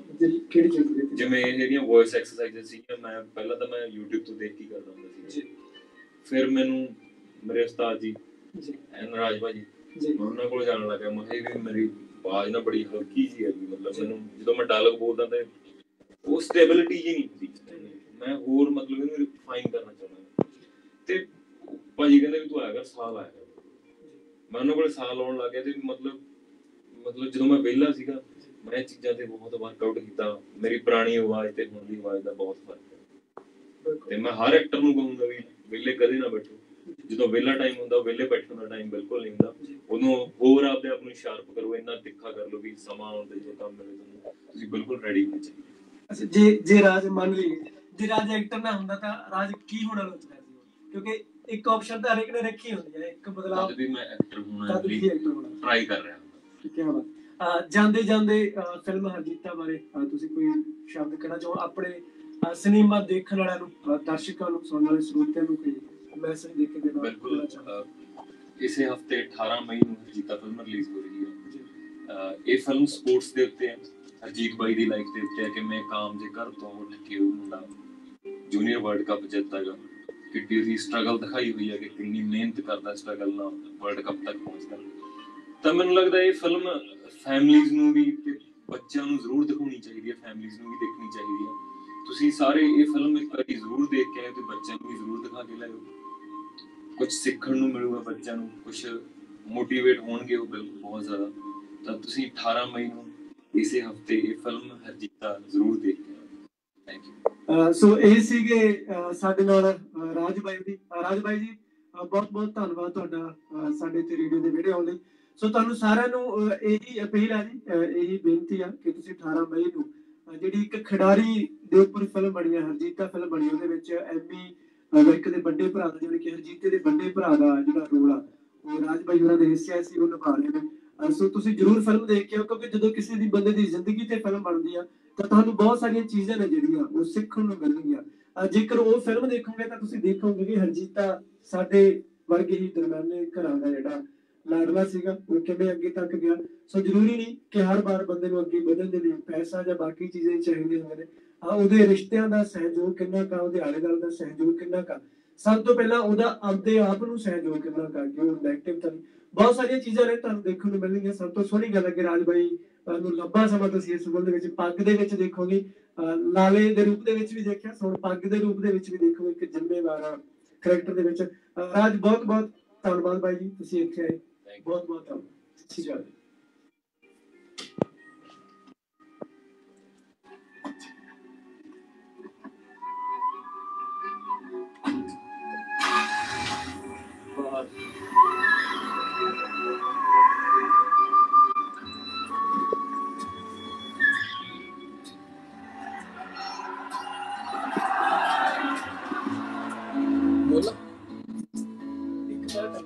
ਮੈਂ ਬੋਲ ਸਕਦਾ।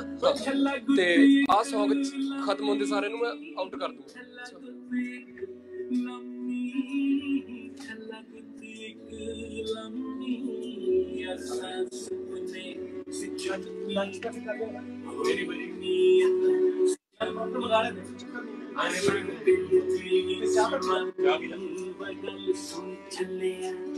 ਲੰਚ ਤੱਕ ਕਰ ਲਿਆ ਮੇਰੀ ਬਣੀ ਮਤਲਬ ਮਗਾ ਲੈ ਚੱਕਰ ਨਹੀਂ ਆਨੇ ਬਣੀ ਤੇ ਚਾਹ ਪੱਤੀ ਜਾ ਵੀ ਲਾ। ਆਪਾਂ ਰੇਡੀਓ ਦੀ ਫੋਟੋ ਹਾਂਜੀ ਕਰ ਰਿਹਾ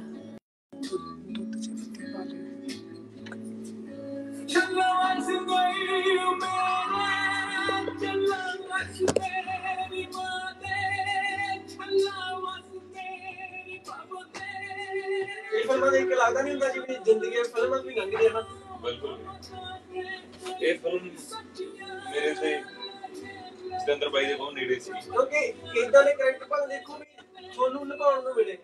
ਪਰ ਉਹਨਾਂ ਦਾ ਐਂਡ ਤੱਕ ਬੰਦੇ ਨੂੰ ਵੀ ਮੈਂ ਜਦੋਂ ਮੈਂ ਆਪਣੇ ਲਈ ਤੋਂ ਦੇਖਦਾ ਵੀ ਮੈਨੂੰ ਇਸ ਫਿਲਮ ਦਾ ਅਖੀਰ ਵੀ ਅੰਤ ਵੀ ਮੈਂ ਦੇਖ ਲਿਆ ਨਾ ਪਰ ਫਿਰ ਵੀ ਦਿਲ ਕਰਦਾ ਵੀ ਯਾਰ ਲਾਲ ਵਾਲੀ ਥਾਂ ਤੇ ਹੋਈ ਸਤਿੰਦਰ ਵਾਲੀ ਥਾਂ ਤੇ ਹੋਈ ਨਾ ਕਿੱਦਾਂ ਦੇ ਕਰੈਕਟਰ ਰਹੇ ਹੋਣਗੇ ਜੀ ਰਹੇ ਵੀ ਹੋਣਗੇ ਤਾਂ।